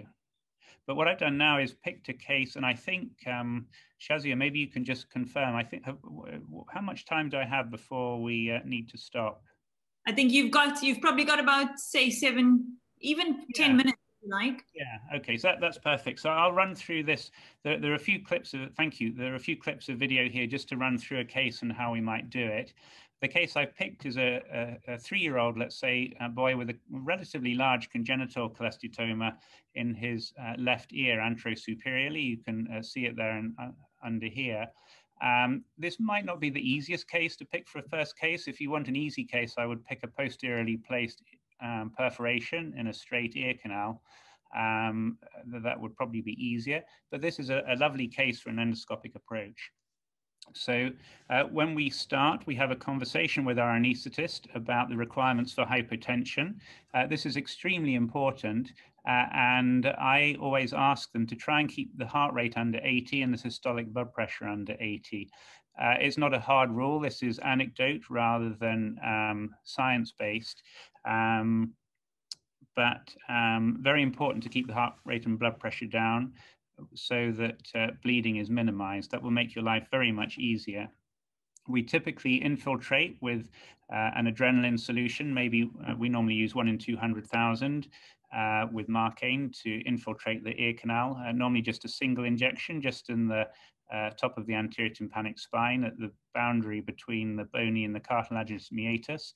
That will often infiltrate the entire canal with one needle poke. Uh, and that, although everybody, well, yeah, we generally say that we think that helps to reduce bleeding. Whether it does or not is a bit hard to know for sure, but I think is probably a sensible thing to do. And then while we're waiting for the vasoconstriction to occur, uh, we cut the hairs in the ear canal uh, so that they don't smear against the endoscope. So that's the preparation. Uh, when we made our um, um, meatal skin incision and elevated the uh, um, uh, meatal flap. Uh, we then need to uh, elevate the uh, annulus. And you can see here I'm using a non-suction instrument. This is a, um, an old video from probably five years ago or more. And I'm using a cotton ball to retract as well as the, um, um, the, this dissection instrument. So we can now, having actually another thing I'll point out actually is I just make a hemi-circumferential incision. I don't make any vertical releasing incisions at the end of my incision. Uh, that this 180 degree incision allows me to push the flap forwards out of the way. Uh, and then because there's no uh, vertical incision here, I think it's easier to replace the flap at the end of the surgery. There's less chance of it getting twisted around or disrupted. So now in order to get access to the anterosuperior quadrant, I'm taking the tympanic membrane off the handle of the malleus. And uh, you, you'll uh, uh, appreciate that sharp dissection was necessary. Well, people use different techniques. Oftentimes, you'll see people using cup forceps to pull the eardrum down off the malleus, and that's a great thing to do. In order to do that, we'd have needed to make the incision uh, carry on around further anteriorly.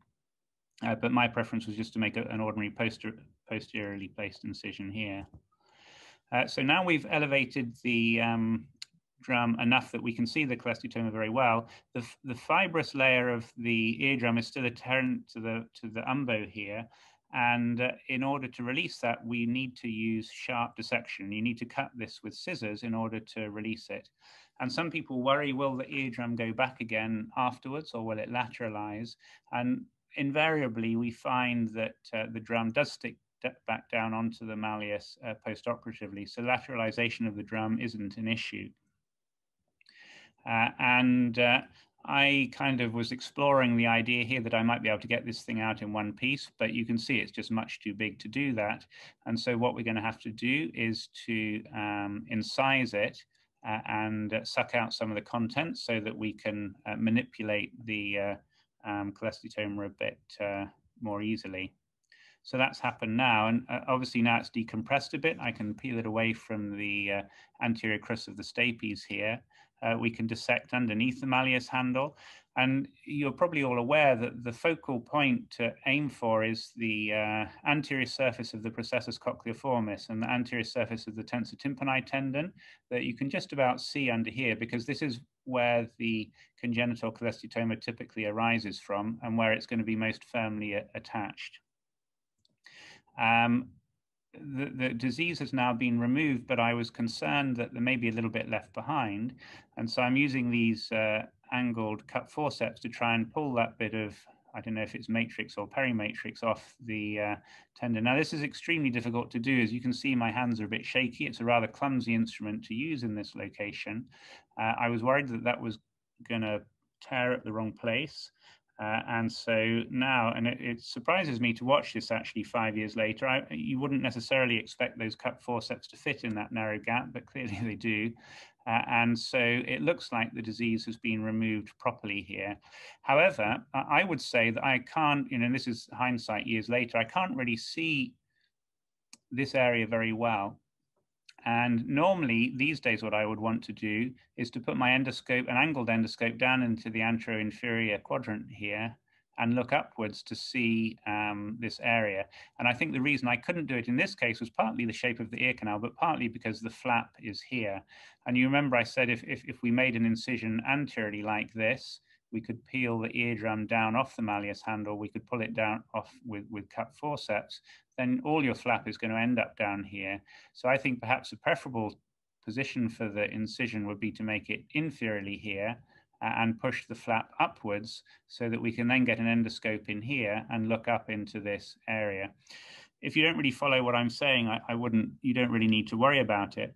But the, the point is, uh, really what I'm making here is that when you plan your meatal incision, you don't have to make it in the conventional postauricular place like you used to. Sorry, the, you don't have to make it posteriorly like you used to with a postauricular approach. You can make it superiorly or you can make it inferiorly according to where you need to get for the disease that, that, that the patient has. So anyway, we have a, um, access to a KTP laser in our department, and, and this is a, a beautiful instrument to use alongside the uh, endoscope uh, and a very nice way of removing any remnants that might have been left behind. I think there was a bit of an attachment of the matrix there, so I'm just burning that away. Uh, and then in a moment, I'm going to use it to paint uh, the uh, tensor tympani tendon and the processus cochleoformis. Um, the laser is an expensive tool, but is available in some hospitals. Some uh, ophthalmology departments, for example, might have a KTP laser, uh, and uh, it is very um, easy instrument to use alongside an endoscope, particularly if you put a filter, 532 nanometer filter between the endoscope and the and the camera, then you don't get that green flash every time you switch it on. And if you use a sucker to uh, evacuate the smoke. So uh, this um, uh, carries on a little bit longer, and then the, the drums put back. And uh, because this was case was done a long time ago, I have um, you know that you might be wondering what happened. Uh, so I did see this kid last summer, uh, and they I'm, I'm, sorry I don't have a picture of their eardrum, but they have a healthy ear uh, with good hearing and no sign of any residual disease over just over five years later. So um, definitely um, endoscopic surgery is, is feasible in young children. And, um, but when we're starting, it's very important not to get obsessed with the idea that you must do it endoscopically. Uh, and I think when you're taking consent from the family, you tell them, you know, I'm going to see if I can do it through the ear canal, but I might have to make a cut behind the ear for access. And uh, the first few times, perhaps you will be making a cut, but as time goes on, as you practice more, you'll get better.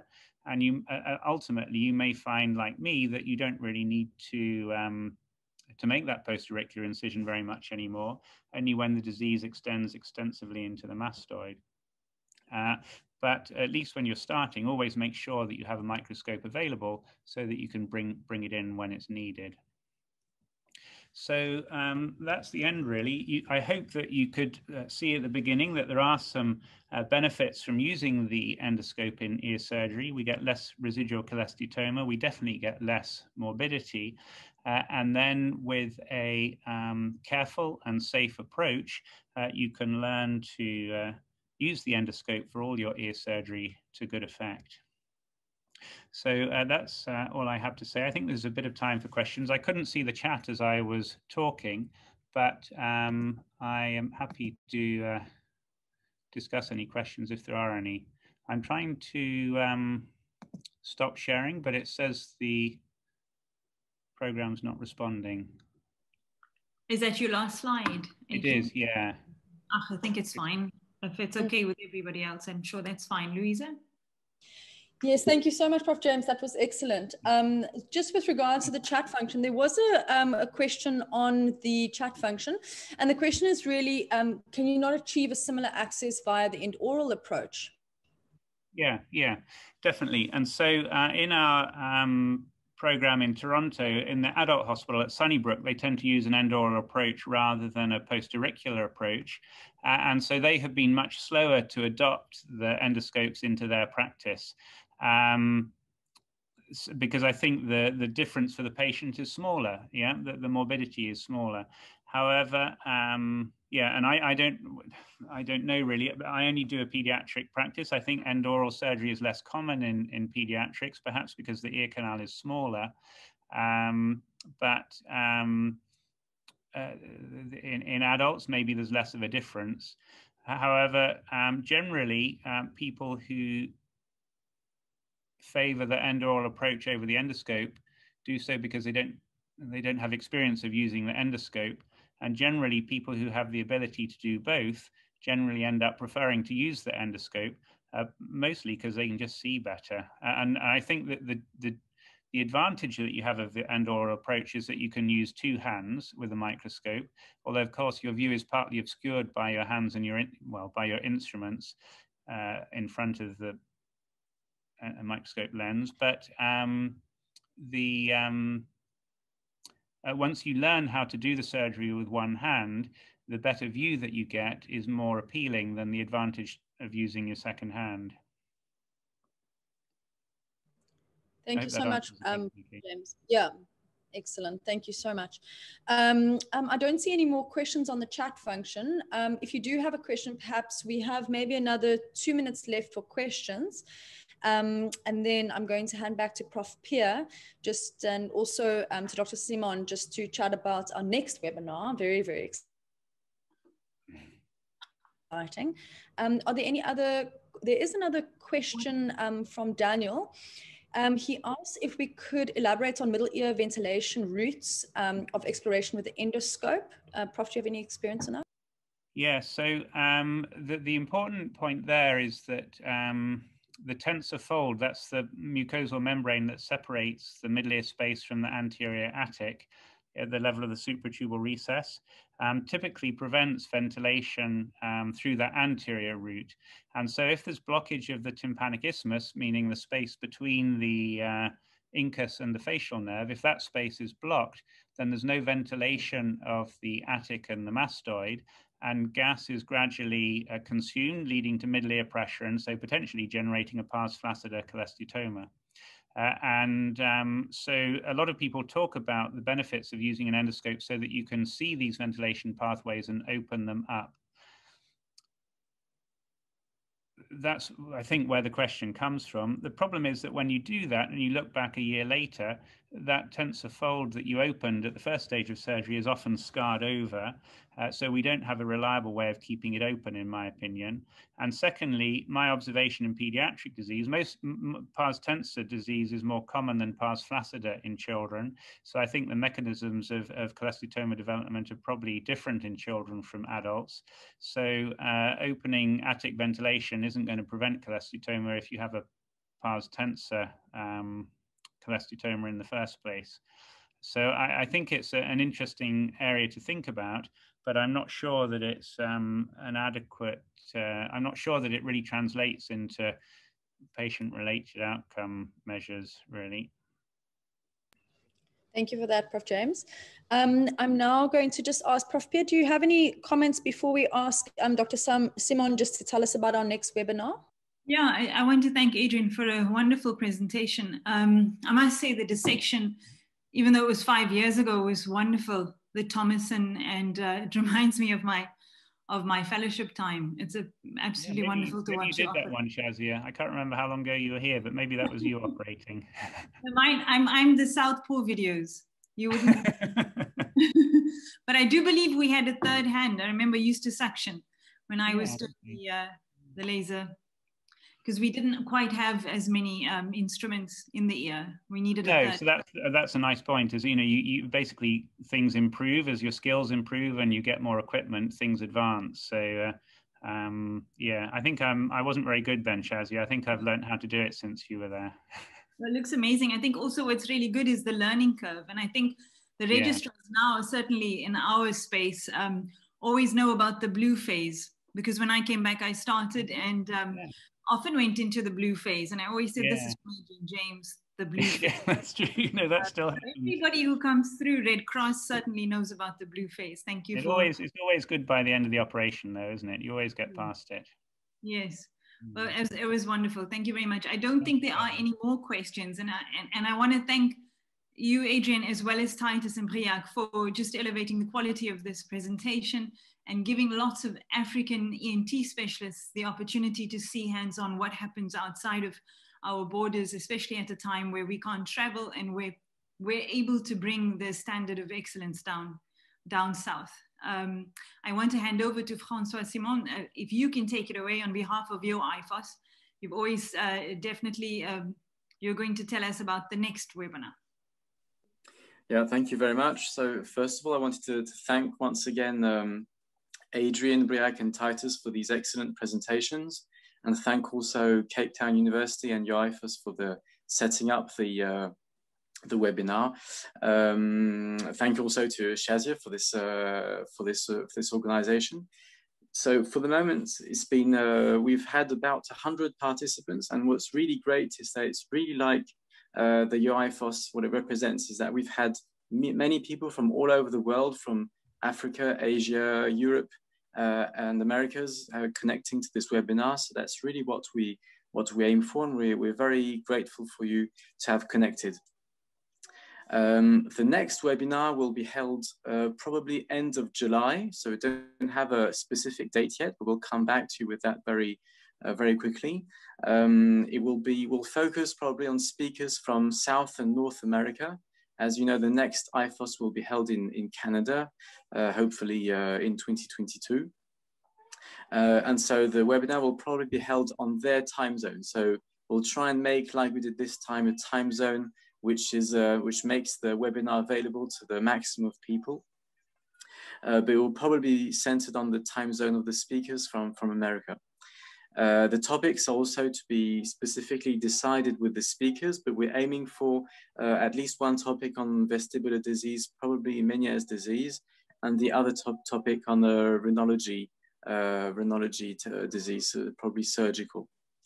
So that's it. I, will be brief because we've had a very dense, uh, dense webinar, and um, and so I just wanted to thank you very much for this this great first first attempt. Thank you so much, um, Dr. Simon. That's excellent. We really look forward to um, the next webinar. Um, from the UCT um, ENT platform, we just really want to thank everyone for joining. Um, I think we've had an excellent turnout. Um, it's been really interactive. The quality of the presentations were amazing. I don't have enough time to read all the compliments posted on the chat group. Um, but there were multiple compliments to all the presenters. So we thank you for your time. We thank you for joining us. And we thank you to the whole UCT ENT platform. And we want to say special thank you to um, Prof. Peer as well for really driving this and, um, and getting us really great, wonderful exposure to excellent speakers. Um, so if there's no further comments, um, I think it's about time we close up and wrap up and we look forward to um, our next webinar. Thank you very much, Louisa.